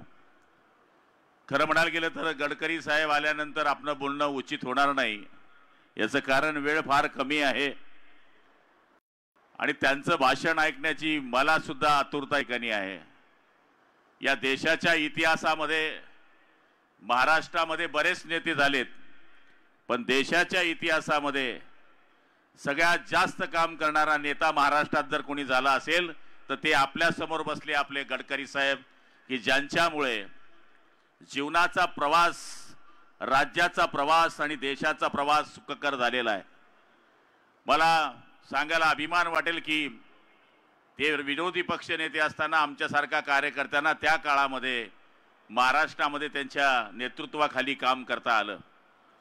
साहेबांना सांगायला या ठिकाणी अभिमान वाटेल जळगाव लोकसभा आणि एरंडोल लोकसभा मतदारसंघ हा ज्यावेळेस जुना होता आता रावेर आणि जळगाव लोकसभा मतदारसंघ. हे दोघंही मतदारसंघामध्ये कायम भाजप शिवसेना युतीचे उमेदवार हे प्रचंड मतांनी निवडून आलेले आहे. यावेळेस सुद्धा आदरणीय मोदी साहेबांना तिसऱ्या वेळेस पंतप्रधान करण्याकरता आम्ही आपल्याला आश्वासित करतो की येणाऱ्या तेरा तारखेला जास्तीत जास्त कमळावर मतन देऊन मतदान करून आदरणीय स्मिताताई यांना आम्ही निवडून देऊ एवढी खात्री देतो. बोलायचं भरपूर होतं पण आपण नेहमी ऐकत असतो. कारण की महत्त्वाचं आकर्षण जे आपलं आहे ते आदरणीय गडकरी साहेब आहे. मी आदरणीय गडकरी साहेबांना विनंती करतो की त्यांनी आम्हाला मार्गदर्शन करावं. जय हिंद जय महाराष्ट्र जय श्रीराम.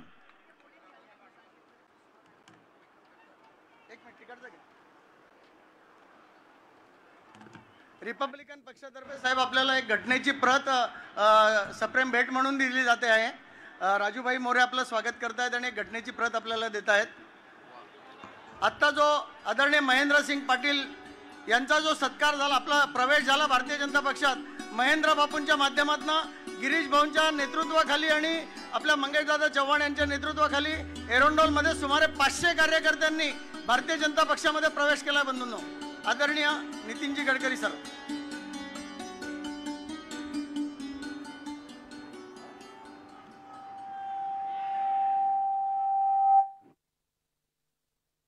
महाराष्ट्र सरकारमधील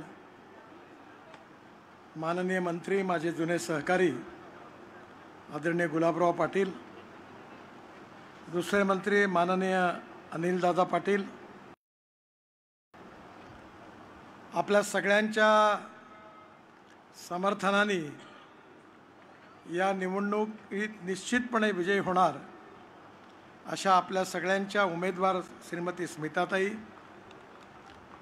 विद्यमान आमदार मंगेशदादा चव्हाण माननीय श्री सुरेश भोळे माननीय श्री किशोर अप्पा पाटील माननीय श्रीमान चिमणरावजी पाटील माजी खासदार एटी नाना पाटील माझे खासदार उल्हास पाटील माजी आमदार जयप्रकाश बाविस्कर माजी आमदार महेंद्रसिंग पाटील चंदूबाई पाटील मंचावर उपस्थित आपल्या महायुतीचे सर्व सन्मान्य नेते मंडळी आणि उपस्थित माझ्या बांधवांना आणि बहिणींना. बऱ्याच दिवसांनी जळगावमध्ये येण्याची मला संधी मिळाली. आणि आपल्या सगळ्यांचं दर्शन घेण्याचं भाग्य लाभलं याबद्दल आपल्या सगळ्यांना सर्वप्रथम मी खूप खूप शुभेच्छा देतो. आपल्या सगळ्यांचं अभिनंदन करतो. माझ्या बांधवांना आणि बहिणींनो ही निवडणूक अतिशय महत्त्वाची निवडणूक आहे. ही निवडणूक कोणाचं भविष्य किंवा भवितव्य ठरवणारी निवडणूक नाही आहे ही निवडणूक आपल्या देशाचं भविष्य आणि भवितव्य ठरवणारी निवडणूक आहे. आपल्या सगळ्यांना माहिती आहे की एकोणीसशे सत्तेचाळीस साली आपल्या देशाला स्वातंत्र्य मिळालं आणि पंडित जवाहरलाल नेहरू देशाचे प्रधानमंत्री झाले.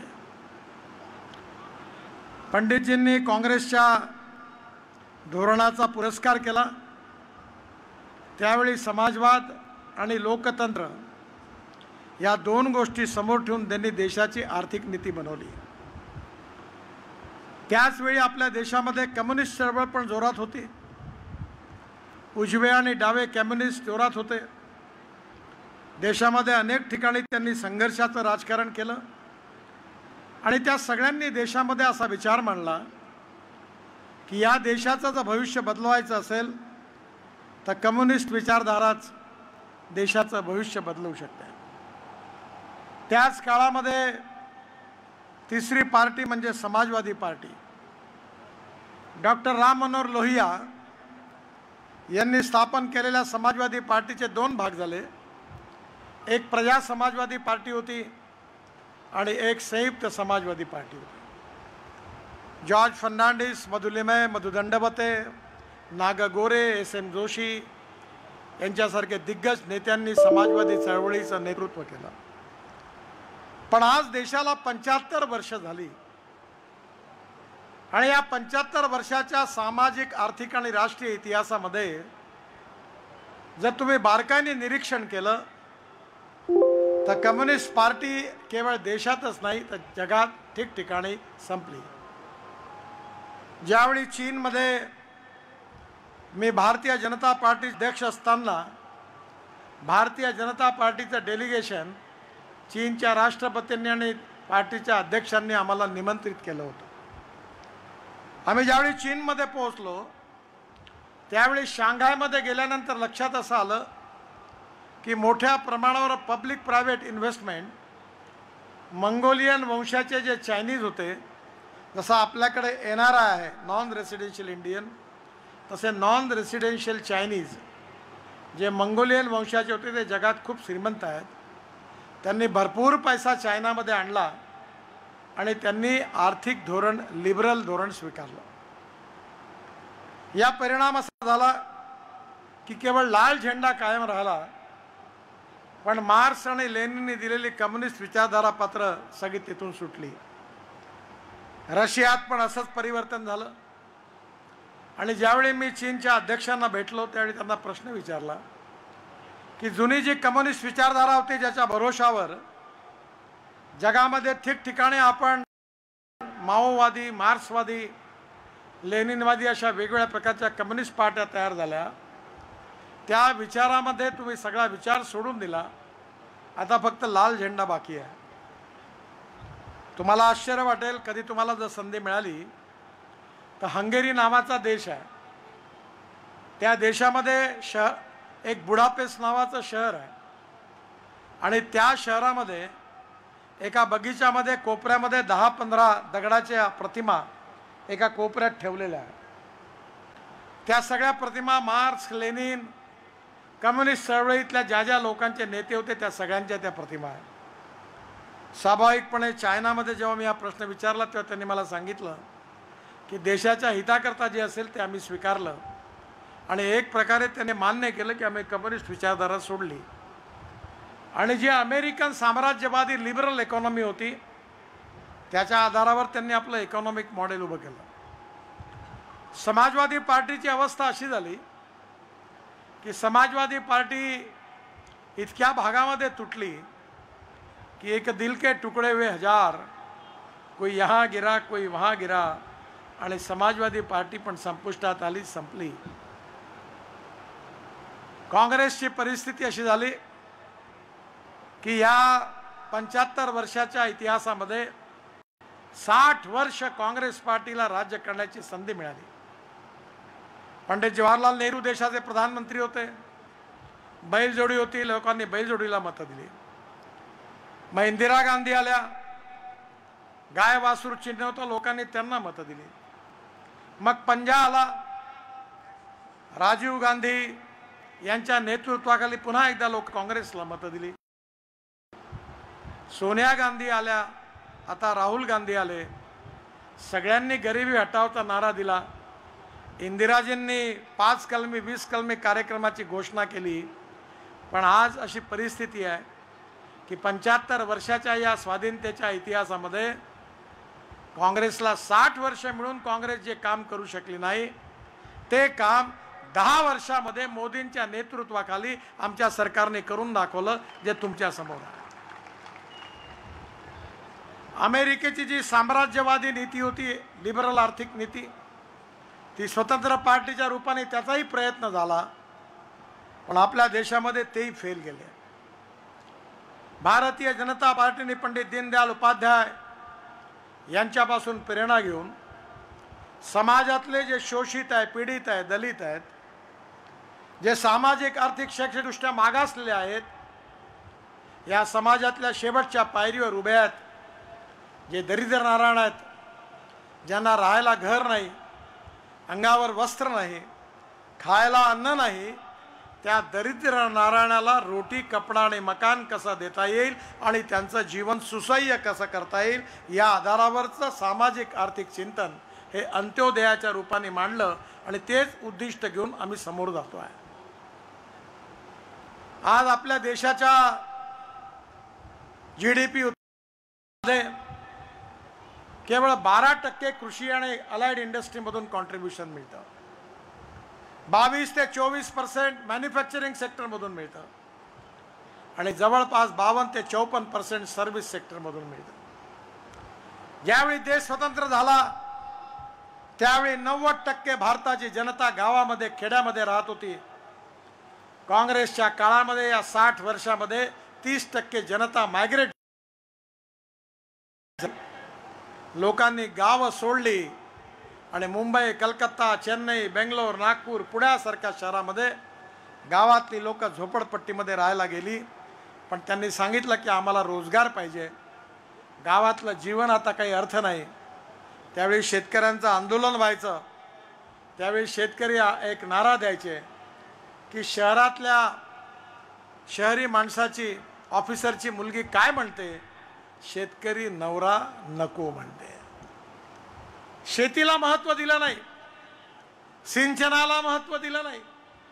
शेतमालावर प्रक्रिया करणाऱ्या उद्योगांना महत्त्व दिलं नाही.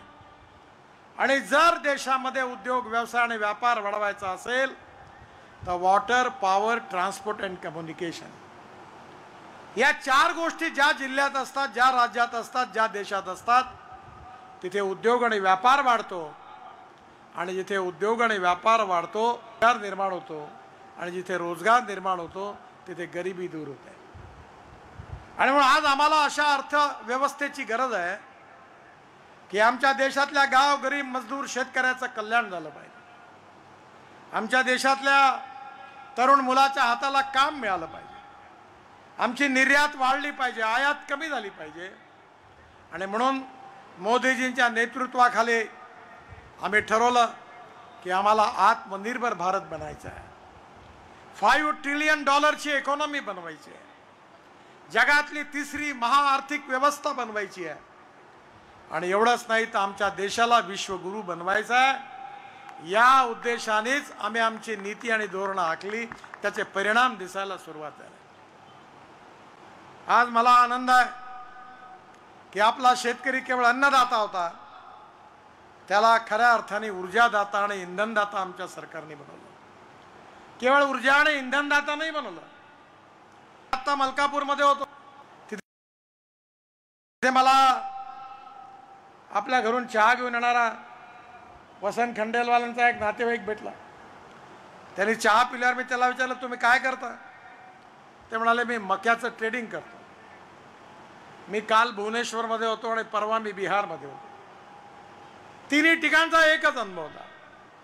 मी त्याला विचारलं मक्याला भाव किती आहे? त्यांनी सांगितलं बावीसशे रुपये क्विंटल आहे. साहेब म्हणे तुम्ही इथेनॉल सुरू केला म्हणून बावीसशे रुपये भाव आहे नाही तर बाराशे आणि तेराशे रुपयामध्ये मका विकणं कठीण होतं. मी बेगुसरायमध्ये पटनामध्ये होतो बिहारमध्ये. गिरिराज सिंग यांच्या प्रचार सभेला तिथे मी विचारलं इथे काय होतं? म्हणे मका होतो. एक स्थिती अशी होती आजही देशामध्ये आहे की ॲग्रिकल्चर प्रोडक्शन सरप्लस आहे. आणि त्यामुळे आपली जी कमर्शियल प्राईज आहे ती कमी आहे आणि एम एस पी जास्त आहे.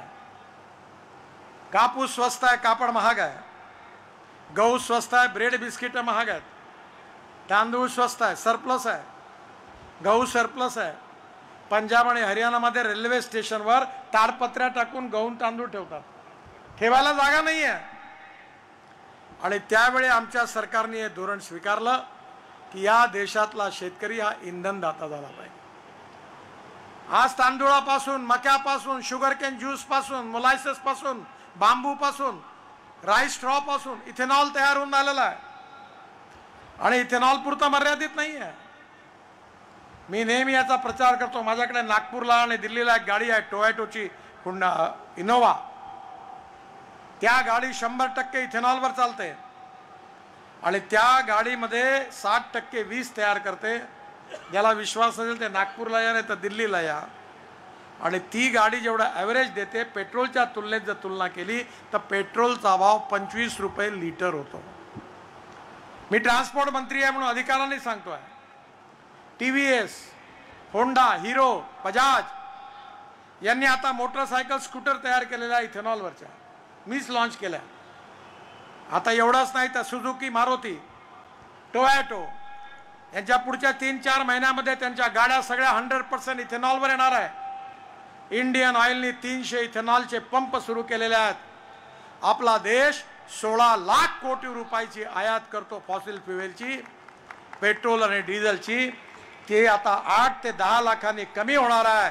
आणि या देशातला शेतकरी समृद्ध आणि संपन्न होणार आहे. आणि गावातल्या तरुण मुलाच्या हाताला काम मिळणार हे धोरण बदललं. अटल बिहारी वाजपेयी जेव्हा मन प्रधानमंत्री होते मला आठवतं की दोन गोष्टी अटल बिहारी वाजपेयींनी केल्या. राम नाईकांच्या नेतृत्वाखाली ते पेट्रोलियम मंत्री होते एक शिष्टमंडळ ब्राझीलला पाठवलं त्यात मलाही त्यांनी पाठवलं होतं. आम्ही ब्राझीलमध्ये गेलो. तिथे इथेनॉलचे पंप पाहिले. सव्वीस टक्के इथेनॉल पेट्रोलमध्ये टाकतात आणि गाड्या चालताना पाहिल्या. आता ज्या गाड्या हिंदुस्थानमध्ये Mercedes B M W Toyota Suzuki याच गाड्या तिकडे इथेनॉलवर चालतात. मग आपल्या देशात का नाही? हे आम्ही डोळ्यांनी पाहिल्यावर वाजपेयींना रिपोर्ट दिला. तेव्हा अटल बिहारी वाजपेयींनी पहिल्यांदा निर्णय घेतला की दहा टक्के पेट्रोलमध्ये इथेनॉल टाकायचं. त्यानंतर आज आपण वीस टक्क्यापर्यंत गेलो आहे आणि आता शंभर टक्क्यावर जाणार आहे. माझ्या बांधवांना बहिणींनो केवळ इथेनॉल आम्ही तयार नाही केलं. आता स्पाईस जेटचं एक विमान डेहराडूनवरून दिल्लीला आणलं आणि आपल्या शेतकऱ्याने तयार केलेल्या इथेनॉलवर चेंज करून bio aviation fuel sustainable aviation fuel म्हणजे हवाई इंधन तयार केलं. विमान आणलं. एवढंच नाही तर दोन वर्षापूर्वी सव्वीस जानेवारीला एअरफोर्सचे फायटर जेट हेलिकॉप्टर शेतकऱ्यांनी तयार केलेल्या हवाई इंधनावर चालले. आणि आता सहा महिन्यापूर्वी एअर एशियाचं विमान टाटाने शंभर टक्के शेतकऱ्याने तयार केलेल्या बायोफ्युएलवर चाललं. आता तो दिवस दूर नाही आहे की आपल्या देशातला शेतकरी केवळ अन्नदाता नाही तर त्याला ऊर्जादाता बनवलं. इंधनदाता बनवलं. आणि आता तर पानिपतमध्ये मीच इनिशिएटिव्ह घेऊन इंडियन ऑइलने एक मोठा प्रोजेक्ट टाकलेला आहे. की जी परली म्हणजे राईस स्ट्रॉ जाळतात. त्याच्यापासून एक lakh litre ethanol per day दीडशे टन डांबर बिटुमिन आणि अठ्याहत्तर हजार ton bio aviation fuel per year तिथे बनायला सुरुवात झाली. साडेतीनशे प्लॅन्ट देशात असे सुरू झाले. त्यातले चाळीस सुरू झाले बाकीच्यांचं काम सुरू आहे. की जे पराठ्या तुराट्या ज्वारीचे फण सोयाबीनचं कुटार तणास याच्यापासून बायो सी एन जी आणि एल एन जी तयार करून आले शेतकऱ्याचे ट्रॅक्टर त्याच्यावर चालू झाले. म्हणजे आपण संपूर्ण धोरणं अशी आखली की शेतकरी समृद्ध संपन्न कसा झाला पाहिजे आणि आता त्याची सुरुवात झाली आहे. हे पेट्रोल डिझेलचे पंप फार काळ टिकणार नाही. या देशातल्या शेतकऱ्यांनी तयार केलेल्या इंधनावर विमानं चालतील. या देशातल्या शेतकऱ्या हा ग्रीन हायड्रोजन तयार करणार आहे. मी एक ट्रान्सपोर्ट मंत्री आहे. माझ्याकडे हायड्रोजनची कार आहे. मर्सिडीजपेक्षाही चांगली आहे. काही धुवा नाही पोल्युशन नाही काही नाही. आणि ती कार पाण्यापासून आणि बायोमासपासून हायड्रोजन तयार करून त्याच्यावर चालते त्याला ग्रीन हायड्रोजन म्हणतात. कोळशापासून जो हायड्रोजन तयार होतो त्याला ब्लॅक हायड्रोजन म्हणतात. आणि पेट्रोलियमपासून तयार होतो तो ब्राऊन हायड्रोजन तयार होत म्हणतात. आणि माझं स्वप्न आहे की या देशातला शेतकरी हा हायड्रोजन तयार केल्याशिवाय राहणार नाही आणि हा देश एनर्जीला आयात करणारा नाही. तर एनर्जीला निर्यात करणारा देश बनेल हे आपल्या सरकारने धोरण आखलं. आपल्याकडे आपण दरवर्षी एक लाख करोड रुपये केमिकल फर्टिलायझर सुफला युरिया मिश्र कथाकरता सबसिडी देतो. अमेरिकेतला एक तरुण सायंटिस्ट मला भेटला. त्यांनी सांगितलं मी नॅनो युरिया तयार केला आहे नॅनो मिश्रखत तयार केलेला आहे नॅनो सुपर फॉस्फेट तयार केला आहे नॅनो पोटॅश तयार केलेला आहे. मी सगळं बघितलं रिपोर्ट चांगले होते. मी म्हणलं तू प्रधानमंत्र्यांना भेट मोदींना त्याची भेट घडवून दिली. त्यांनी त्याला सपोर्ट केला. फर्टिलायझर मिनिस्ट्रीने धोरण स्वीकारलं. आणि आपल्या देशात नॅनो युरिया आणि नॅनो मिश्र खत तयार झालं. अडीचशे एम एलची बॉटल बरोबर एक पोता. मी दुनियेची गोष्ट सांगत नाही माझ्या घरची सांगतो. माझ्याकडे दहा एकर ऊस होता. आमच्या साखर कारखाना क्षेत्रात चार हजार एकर आम्ही द्रोणनी स्प्रेइंग केलं. पहिल्यांदा चार पोते युरिया एकरी टाकायचो आणि चार पोते मिश्रखत टाकायचो. पण यावेळी आपण हे जे खत टाकायचो पंचवीस टक्के फक्त पिकाला जायचं आणि पंच्याहत्तर टक्के वेस्ट व्हायचं. जमीन खराब करायचं. पण त्याऐवजी फक्त दोन पोते नॅनो युरिया दोन बॉटल नॅनो युरियाच्या आणि दोन बॉटल मिश्र खताच्या द्रोणमधून फवारा केला पंच्याहत्तर टक्के पिकाला गेलं आणि पंचवीस टक्के फक्त वाया गेलं आणि मला अठ्ठ्याऐंशी टन पर एकर ऊसाचं उत्पादन झालं. माझी गोष्ट म्हणजे आपला उत्पादन खर्च चार हजार रुपयांनी कमी झाला. उत्पादन वाढलं. आणि म्हणून पंधरा हजार महिला बचत गटाला आपण आता द्रोण दिले द्रोण दिदी. आणि आता यानंतर प्रत्येक गावामध्ये गावातल्या शिकलेल्या तरुण मुलाला आपण द्रोण देणार आहे. आणि सातशे रुपयामध्ये तो एकरी फवारणी करणार आहे. शेतीमध्ये तंत्रज्ञान आलं पाहिजे. ज्ञान आपल्या आपल्या देशामध्ये जगामध्ये सगळे आपले भारतीय लोक उत्तम काम करत आहेत. मी जपानच्या प्रधानमंत्र्याला भेटलो होतो. ते म्हणाले म्हणाले मला mister Gadkari please tell me की तुमच्या देशातले सॉफ्टवेअर इंजिनियर्स एवढे हुशार कसे आहेत? त्यांच्या डोक्यामध्ये काही मॅथमॅटिक्सचे जीन्स आहेत का? आज जगाच्या काना कोपऱ्यामध्ये आपले सॉफ्टवेअर इंजिनियर उत्तम काम करत आहेत. अमेरिकेमध्ये दहा चांगल्या डॉक्टरपैकी सहा डॉक्टर भारतीय आहेत. ब्रिटनमध्ये आपल्याकडचे दहा चांगल्या डॉक्टरपैकी सहा भारतीय आहेत. आपल्या डॉक्टरांना रेप्युटेशन आहे आपल्या इंजिनियरला रेप्युटेशन आहे आणि नॉलेज ही भविष्यातली ताकद आहे. Innovation entrepreneurship science technology research skill and successful practices याला आपण नॉलेज म्हणजे ज्ञान म्हणतो. And conversion of knowledge into wealth हे आपलं भविष्य आहे. आज आपण आपल्या कानाकोपऱ्यात स्टार्टअप तयार झाले इंजिनिअरिंग रिसर्चला महत्त्व मिळालं.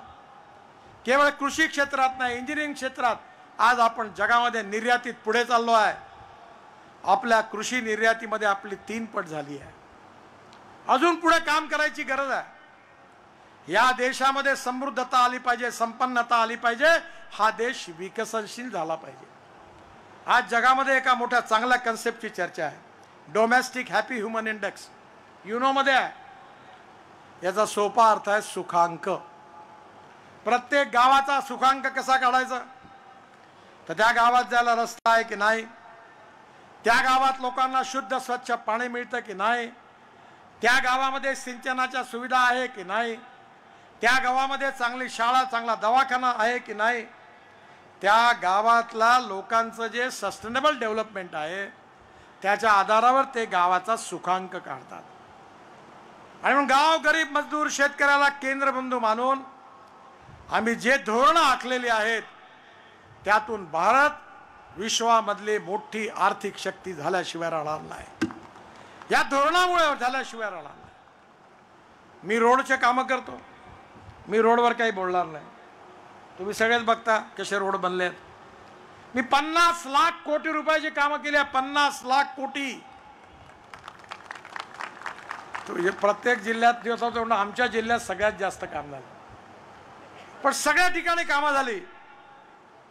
पुढच्या वेळी हे आमदार खासदार बसले आहेत ना आता हे माझ्याकडे येणारच नाही. कारण यांनी जेवढ्या मागण्या केल्या त्या नव्वद टक्के मी पूर्ण करून टाकल्या मी गमतीने सांगितलं की माझ्याकडे द्रौपदीची थाळी आहे. किती लोक जेवायला या? पैशाची कमी नाही आहे. आज मी नेहमी म्हणतो की पैसा एवढा आहे दबदब पडतो की पन्नास लाख कोटी नाही उद्या नव्वद लाख कोटीची जरी कामं करावी लागली तरी माझ्याकडे पैशाची कमी नाही एवढा पैसा माझ्याबरोबर या देशामध्ये पैशाची कमी नाही तंत्रज्ञानाची कमी नाही इमानदारीने काम करणाऱ्यांची कमी आहे. मी पन्नास लाख कोटी रुपयाची कामं केलेली आहे. पण भडवेगिरी केली नाही. तुम्ही कोणाही कॉन्ट्रॅक्टरला विचारा. त्याला आपलं काम मिळण्याकरता कधी कधी मला भेटायची गरज पडली नाही. काय कारण आहे? मला एका विदेशी चित्रवाणीने इंटरव्ह्यू घेत असताना असं विचारलं की तुम्ही एवढे कामं कशा करता करता त्यांना मी राष्ट्रीय स्वयंसेवक संघाचा स्वयंसेवक आहे आणि आम्हाला शिकवलाय हम दो चार रहे न रहे तेरा वैभव अमर रहे मा या मातृभूमी करता आम्हाला काम करायचंय आमचे आदर्श छत्रपती शिवाजी महाराज आहेत शिवाजी महाराज आमच्या हृदयस्थानात आहे यशवंत कीर्तिवंत वरदवंत सामर्थ्यवंत जाणता राजा निश्चयाचा महामेरू बहुत जनासी आधारू अखंड स्थितीचा निर्धारू श्रीमंत योगी. आदर्श राजा आदर्श पिता आदर्श शासक. प्रत्येक आदर्शाचा एकच आदर्श असेल तो म्हणजे छत्रपती शिवाजी महाराज. माझ्या घरामध्ये माझ्या आई वडिलांचा फोटो नाही आहे पण माझ्या ऑफिसमध्ये आणि माझ्या भिंतीवर घरा ऑफिसमधल्या भिंतीवर छत्रपती शिवाजी महाराजांचा फोटो आहे. छत्रपती शिवाजी महाराजांना अपेक्षित असणारी शिवशाही प्रभू रामचंद्राचा भव्य राम मंदिर बनलं. पण मंदिर बनवून होणार नाही. तर या देशामध्ये महात्मा गांधी म्हणाले अनेक लोक म्हणाले की रामराज्य आलं पाहिजे म्हणजे आदर्श राज्य आलं पाहिजे. रामराज्य आणि शिवशाही हे दोन्ही स्वप्न पूर्ण करायचं आहे. हेच आमचं ध्येय आहे. आणि या देशाला विश्वगुरु बनवायचा आहे. जगातली मोठी आर्थिक व्यवस्था बनवायचा आहे. ज्ञान विज्ञान तंत्रज्ञानाच्या आधारावर. जगामध्ये आर्थिक प्रगतीमध्ये मोठी प्रगती देशाला करायची आहे. आणि मूल्याधिष्ठित जीवन पद्धती परिवार पद्धतीच्या आधारावर. योग विज्ञान आयुर्वेद इतिहास संस्कृती आणि विरासत याच्या आधारावर पूर्ण विश्वाला मार्गदर्शन करण्याची ताकद माझ्या देशामध्ये आहे याचा मला अभिमान आहे. ही निवडणूक केवळ मंत्री बनण्याकरता आमदार खासदार बनण्याकरता नाही आलो. केवळ मंत्री बनणं आमदार बनणं खासदार बनणं आमचं स्वप्न नाही आहे राज बदलणं एवढं स्वप्न नाही आहे समाज बदलणं हे हमारा सपना आहे. आज जातीयवादाचं राजकारण सुरू आहे सांप्रदायिकतेचं सुरू आहे. सगळीकडे वेगवेगळ्या प्रकारची चर्चा आहे. माणूस हा जातीने मोठा नसतो माणूस हा गुणाने मोठा असतो. या समाजातली छुवाछूत अस्पृश्यता जातीयता नष्ट झाली पाहिजे. आणि बाबासाहेब आंबेडकरांनी सांगितलेली सामाजिक समता आणि आर्थिक समता प्रस्थापित झाली पाहिजे हे आमचं उद्दिष्ट आहे. महात्मा ज्योतिबा फुलेंनी सांगितलेली समता ही समाजात प्रस्थापित झाली पाहिजे. कोणी व्यक्ती जात पंथ धर्म भाषा सेक्स यांनी मोठा नाही. तो आपल्या कार्याने आणि कर्तृत्वाने मोठा आहे. मी पण लोकसभेची निवडणूक लढलो लढतो आहे लाखो मतांनी निवडून येणार आहे. पूर्णपणे एकशे एक टक्के चिंता करू नका. पण माझ्या ताकद आहे. मी बाळासाहेब ठाकरेंमध्ये हे पाहिलं.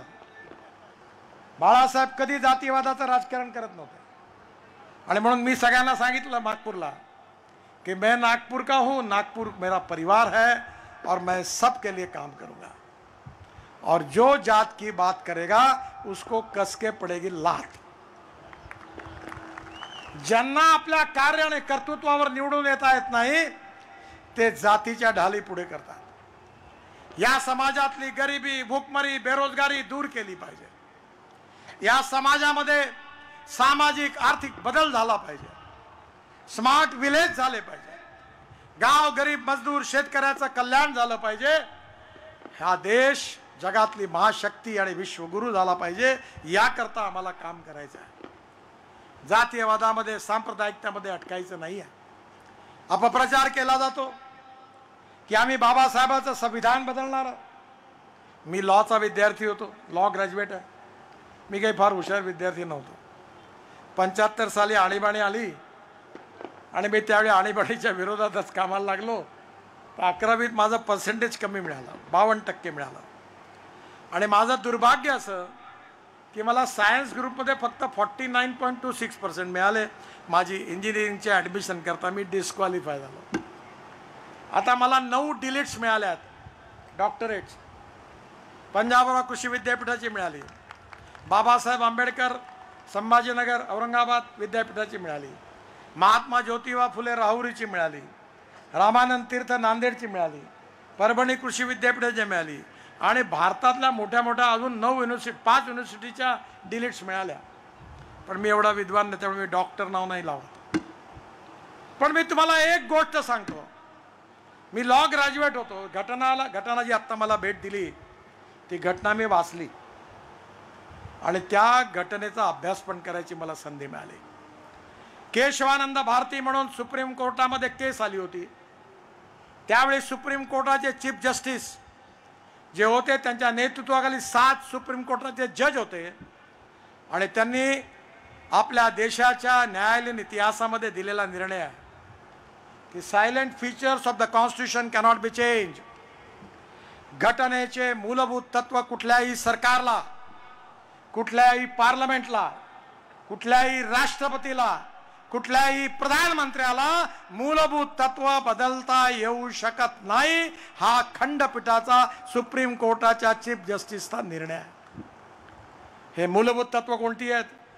लोकतंत्र समाजवाद धर्मनिरपेक्षता freedom of speech fundamental rights हे बदलूच शकत नाही पण घटनेचा जो बी पार्ट आहे त्याच्यामध्ये अनेक कलम आहेत. ती बदलल्या जाऊ शकतात. आणि मला सांगताना तुम्हाला दुःख होत आहे की जे आज आमच्यावर आरोप करत आहेत की आम्ही बाबासाहेबांचं संविधान बदलवणार आहात म्हणून. आम्ही तर बदलवणार नाहीच पण हे संविधान तोडायचं मरवण्याचं काम ऐंशी वेळा ही घटना तोडायचं पाप कोणी जर केलं असेल तर उत्तर द्यावं आमच्या विरुद्ध खोटा प्रचार करतात मुसलमानांना सांगतात देखो ये बीजेपी वाले खतरनाक है चुन कर आएँगे तो आपको कटवा देंगे पाकिस्तान भिजवा देंगे सुरक्षित रहना है तो पंजे पर मुहर लगाओ दहा वर्षामध्ये मोदींच्या नेतृत्वाखाली आम्ही अनेक योजना आणल्या उज्ज्वला योजना आणली आयुष्य योजना आणली किती योजनांची नावं आहेत? मी खुल्या सभेत विचारतो. आम्ही एका तरी योजनेमध्ये दलित मुसलमानाला योजनेचा लाभ घेता येणार नाही असं कुठे म्हटलं का? असं कुठे केलं का? आहे उदाहरण? कुठेही नाही आहे. सबका साथ सबका विकास सबका प्रयास आम्ही सगळ्या योजना सगळ्यांकरता केल्या. पण आमच्याबद्दल अपप्रचार करतात. मी नेहमी सांगतो की कुठलाही माणूस गरीब गरीब असतो त्याला जात पंत धर्म भाषा नसते. गॅसचं सिलेंडर पेट्रोल डिझेल ज्या भावामध्ये हिंदूला मिळतं त्याच भावात मुसलमानाला मिळतं. आणि म्हणून माझ्या बांधवांनो बहिणींनो तुमचं भविष्य बदलवायचं असेल देशाला समृद्ध संपन्न करायचं असेल विश्वगुरु बनवायचं असेल तिसरी महाआर्थिक शक्ती बनवायचं असेल गाव गरीब मजदूर शेतकऱ्याचं कल्याण करायचं असेल तरुण मुलाच्या हाताला काम द्यायचं असेल आणि हा देश सुखी समृद्ध संपन्न शक्तिशाली करायचा असेल. या देशाच्या सीमा सुरक्षित ठेवायच्या असतील आतंकवादाला संपवायचं असेल अशी ताकद या देशात निर्माण करायची आहे की कोणी शत्रू राष्ट्र आपल्याकडे डोळे वटारून पाहू शकत नाही अशी ताकद आपल्याला निर्माण करायची आहे. तो देश निर्माण आपण केलेला आहे. पण आज अपप्रचार करतात आहे मी काश्मीरमध्येच केवळ दोन लाख कोटी रुपयाची कामं करतो. पंचवीस टनेल बांधतोय. आशियामधली सगळ्यात मोठी टनेल झोजीला तिथे बांधतोय. आम्ही कधी भेदभाव नाही केला. ज्यांनी मत दिलं त्यांचीही कामं केली. ज्यांनी मतं दिली नाही त्यांचीही कामं केली. लोकशाहीमध्ये प्रत्येकाचा अधिकार आहे.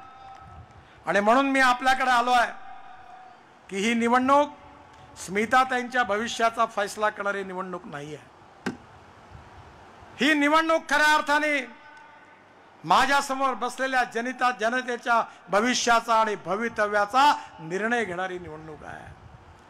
जर तुमचा भविष्यकाळ चांगला करायचा असेल तुमचा सुखांक वाढवायचा असेल गरिबी भूकमरी बेरोजगारी दूर करायची असेल शेतकऱ्यांना समृद्ध संपन्न करायचं असेल सिंचनाच्या सुविधा वाढवायच्या असतील कृषी मालावर प्रक्रिया करणारे उद्योग निर्माण करायचे असतील आणि देशाचं हे सामाजिक आर्थिक चित्र बदलवायचं असेल तर एकच पर्याय आहे की मोदींच्या नेतृत्वाखाली एन डी एचं सरकार आणा तरच तुमचं भविष्य बदलणार आहे नाही तर मग धोकाच आहे.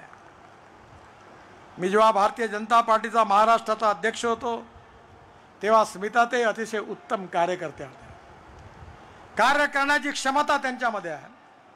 प्रामाणिकपणे त्यांनी पक्षाचं काम केलं. आणि एवढंच नाही तर तुमचे सगळे प्रश्न लोकसभेत मांडण्याची ताकद त्यांच्यामध्ये आहे. तुमचे प्रश्न सोडण्याची ताकद आहे. आणि तुम्ही काळजी करू नका. मोदींची गॅरंटी आहे आणि माझी पण गॅरंटी आहे. आम्ही दोघंही त्यांच्या मागे उभा आहोत. त्यामुळे जळगाव निघालेली सुपरफास्ट एक्सप्रेस ही काही घंट्यातच दिल्लीत पोहोचल्याशिवाय राहणार नाही. आणि मी तर आता दिल्ली मुंबई एक्सप्रेस हायवेला जळगाववाल्यांकरता सुरतवरून कनेक्टिव्हिटी दिली आहे. एक लाख कोटी रुपयाचा रस्ता आहे. आणि आता नवीन रस्ता बांधतो आहे सुरतवरून नाशिक. नाशिकवरून अहमदनगर. अहमदनगरवरून सोलापूर. सोलापूरवरून कर्नूल. कर्नूलवरून कन्याकुमारी त्रिवेंद्रम चेन्नई बेंगलोर मंगलोर कोचीन त्रिवेंद्रम. आणि मग सुरतवरून पुढे दिल्ली. Delhi express highway. दिल्लीवरून दिल्ली कटरा हायवे. डायरेक्ट कटरा. तिथून अठरा टनेल बांधल्या आहेत श्रीनगर. श्रीनगरवरून झेडमोर टनेलवरून झोजिला झोजिलावरून सरळ लद्दाख आणि लेह. आणि लद्दाख लेवरून पुन्हा आठ टनेल बांधायला सुरुवात केली आहे. तिथून डायरेक्ट हिमाचल प्रदेशामध्ये मनाली. आणि मनालीला जायला मनालीवरून रोहतांग पास जायला साडेतीन तास लागायचे. आम्ही अटल टनल बांधली आता आठ मिनिटात जातो आठ मिनिटात. म्हणजे काश्मीर से कन्याकुमारी तक आणि तुम्ही आता इथून सुरतला जुळले. का कन्याकुमारीला जाऊ शकता? आणि तिकडे काश्मीर लद्दाख लेहपर्यंत जाऊ शकता. Four lane express highway access control एकशे वीस किलोमीटरच्या स्पीडनी आपली गाडी घेतली बसले की पोहोचले तिकडे. मला अनेक लोक जुन्या गाड्या विकत घ्यायला लागले. केवळ आम्ही रोड नाही बांधले. आपली श्रद्धास्थान आहे. बद्रीनाथ केदारनाथ गंगोत्री यमुनोत्री बारा हजार कोटीचा रस्ता बांधला. मी मानस सरोवरचा रस्ता नव्वद टक्के बांधून पूर्ण केला आहे. आता चीनमध्ये जायची गरज नाही नेपाळमध्ये जायची गरज नाही. तर मानस सरोवरला जर जायचं असेल तर उत्तराखंडमधल्या पितोरागडपासून नेपाळ आणि चीनच्या सीमेच्या बाजूनी जिथे मायनस एट डिग्री टेम्परेचर आहे तिथून मानस सरोवरपर्यंतचं नव्वद टक्के काम झालेलं आहे. आपल्या महाराष्ट्रातलं पंढरपूर आपलं श्रद्धास्थान देव आळंदी बारा हजार कोटी रुपयाचा पालखी मार्ग बांधला आहे. तुळजापूर अक्कलकोट गाणगापूर माहूर. आपल्या सगळी तीर्थस्थानं चांगल्या रस्त्याने जोडली आहे. कारण आपल्या देशात तीर्थाटन वाढलं पाहिजे. आपली संस्कृती इतिहास विरासत महान आहे. हा देशाची संस्कृती आमच्या सगळ्यांची शक्ती आहे. आणि हा देशाचा सर्वांगीण विकास झाला पाहिजे हेच आमचं मिशन आहे. आणि हे पूर्ण करण्याकरता आपण सगळ्यांनी स्मिताताईंना प्रचंड मताने विजयी करावं कमळाच्या फुलाची बटन दाबावी आणि रेकॉर्ड ब्रेक मार्जिनने त्यांना विजयी करावं ही विनंती करण्याकरता मी आपल्याकडे आलो आहे दहा वाजेपर्यंत वेळ आहे आता पाच मिनटं कमी आहे. त्याच्या आधीच मी आपलं भाषण संपवतो. पुन्हा एकदा स्मिताताईंना खूप खूप शुभेच्छा.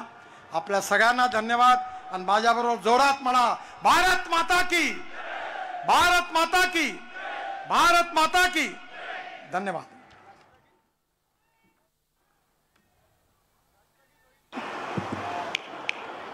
हॅलो. राष्ट्रगीत होईल आपण दोन मिनिट थांबून घ्यायचं आहे.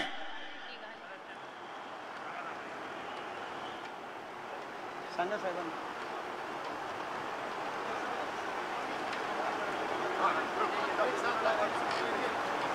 आपण सर्वजण सामूहिकरित्या राष्ट्रगीत म्हणूया. जनगण मन अधिनायक जय हे भारत भाग्य विधाता पंजाब, सिंध, गुजरात, मराठा, द्राविड, उत्कल, बंग, विंध्य, हिमाचल, यमुना, गंगा उच्छल जलधि तरंग तव शुभ नामे जागे, तव शुभ आशिष मागे, गाहे तव जय गाथा।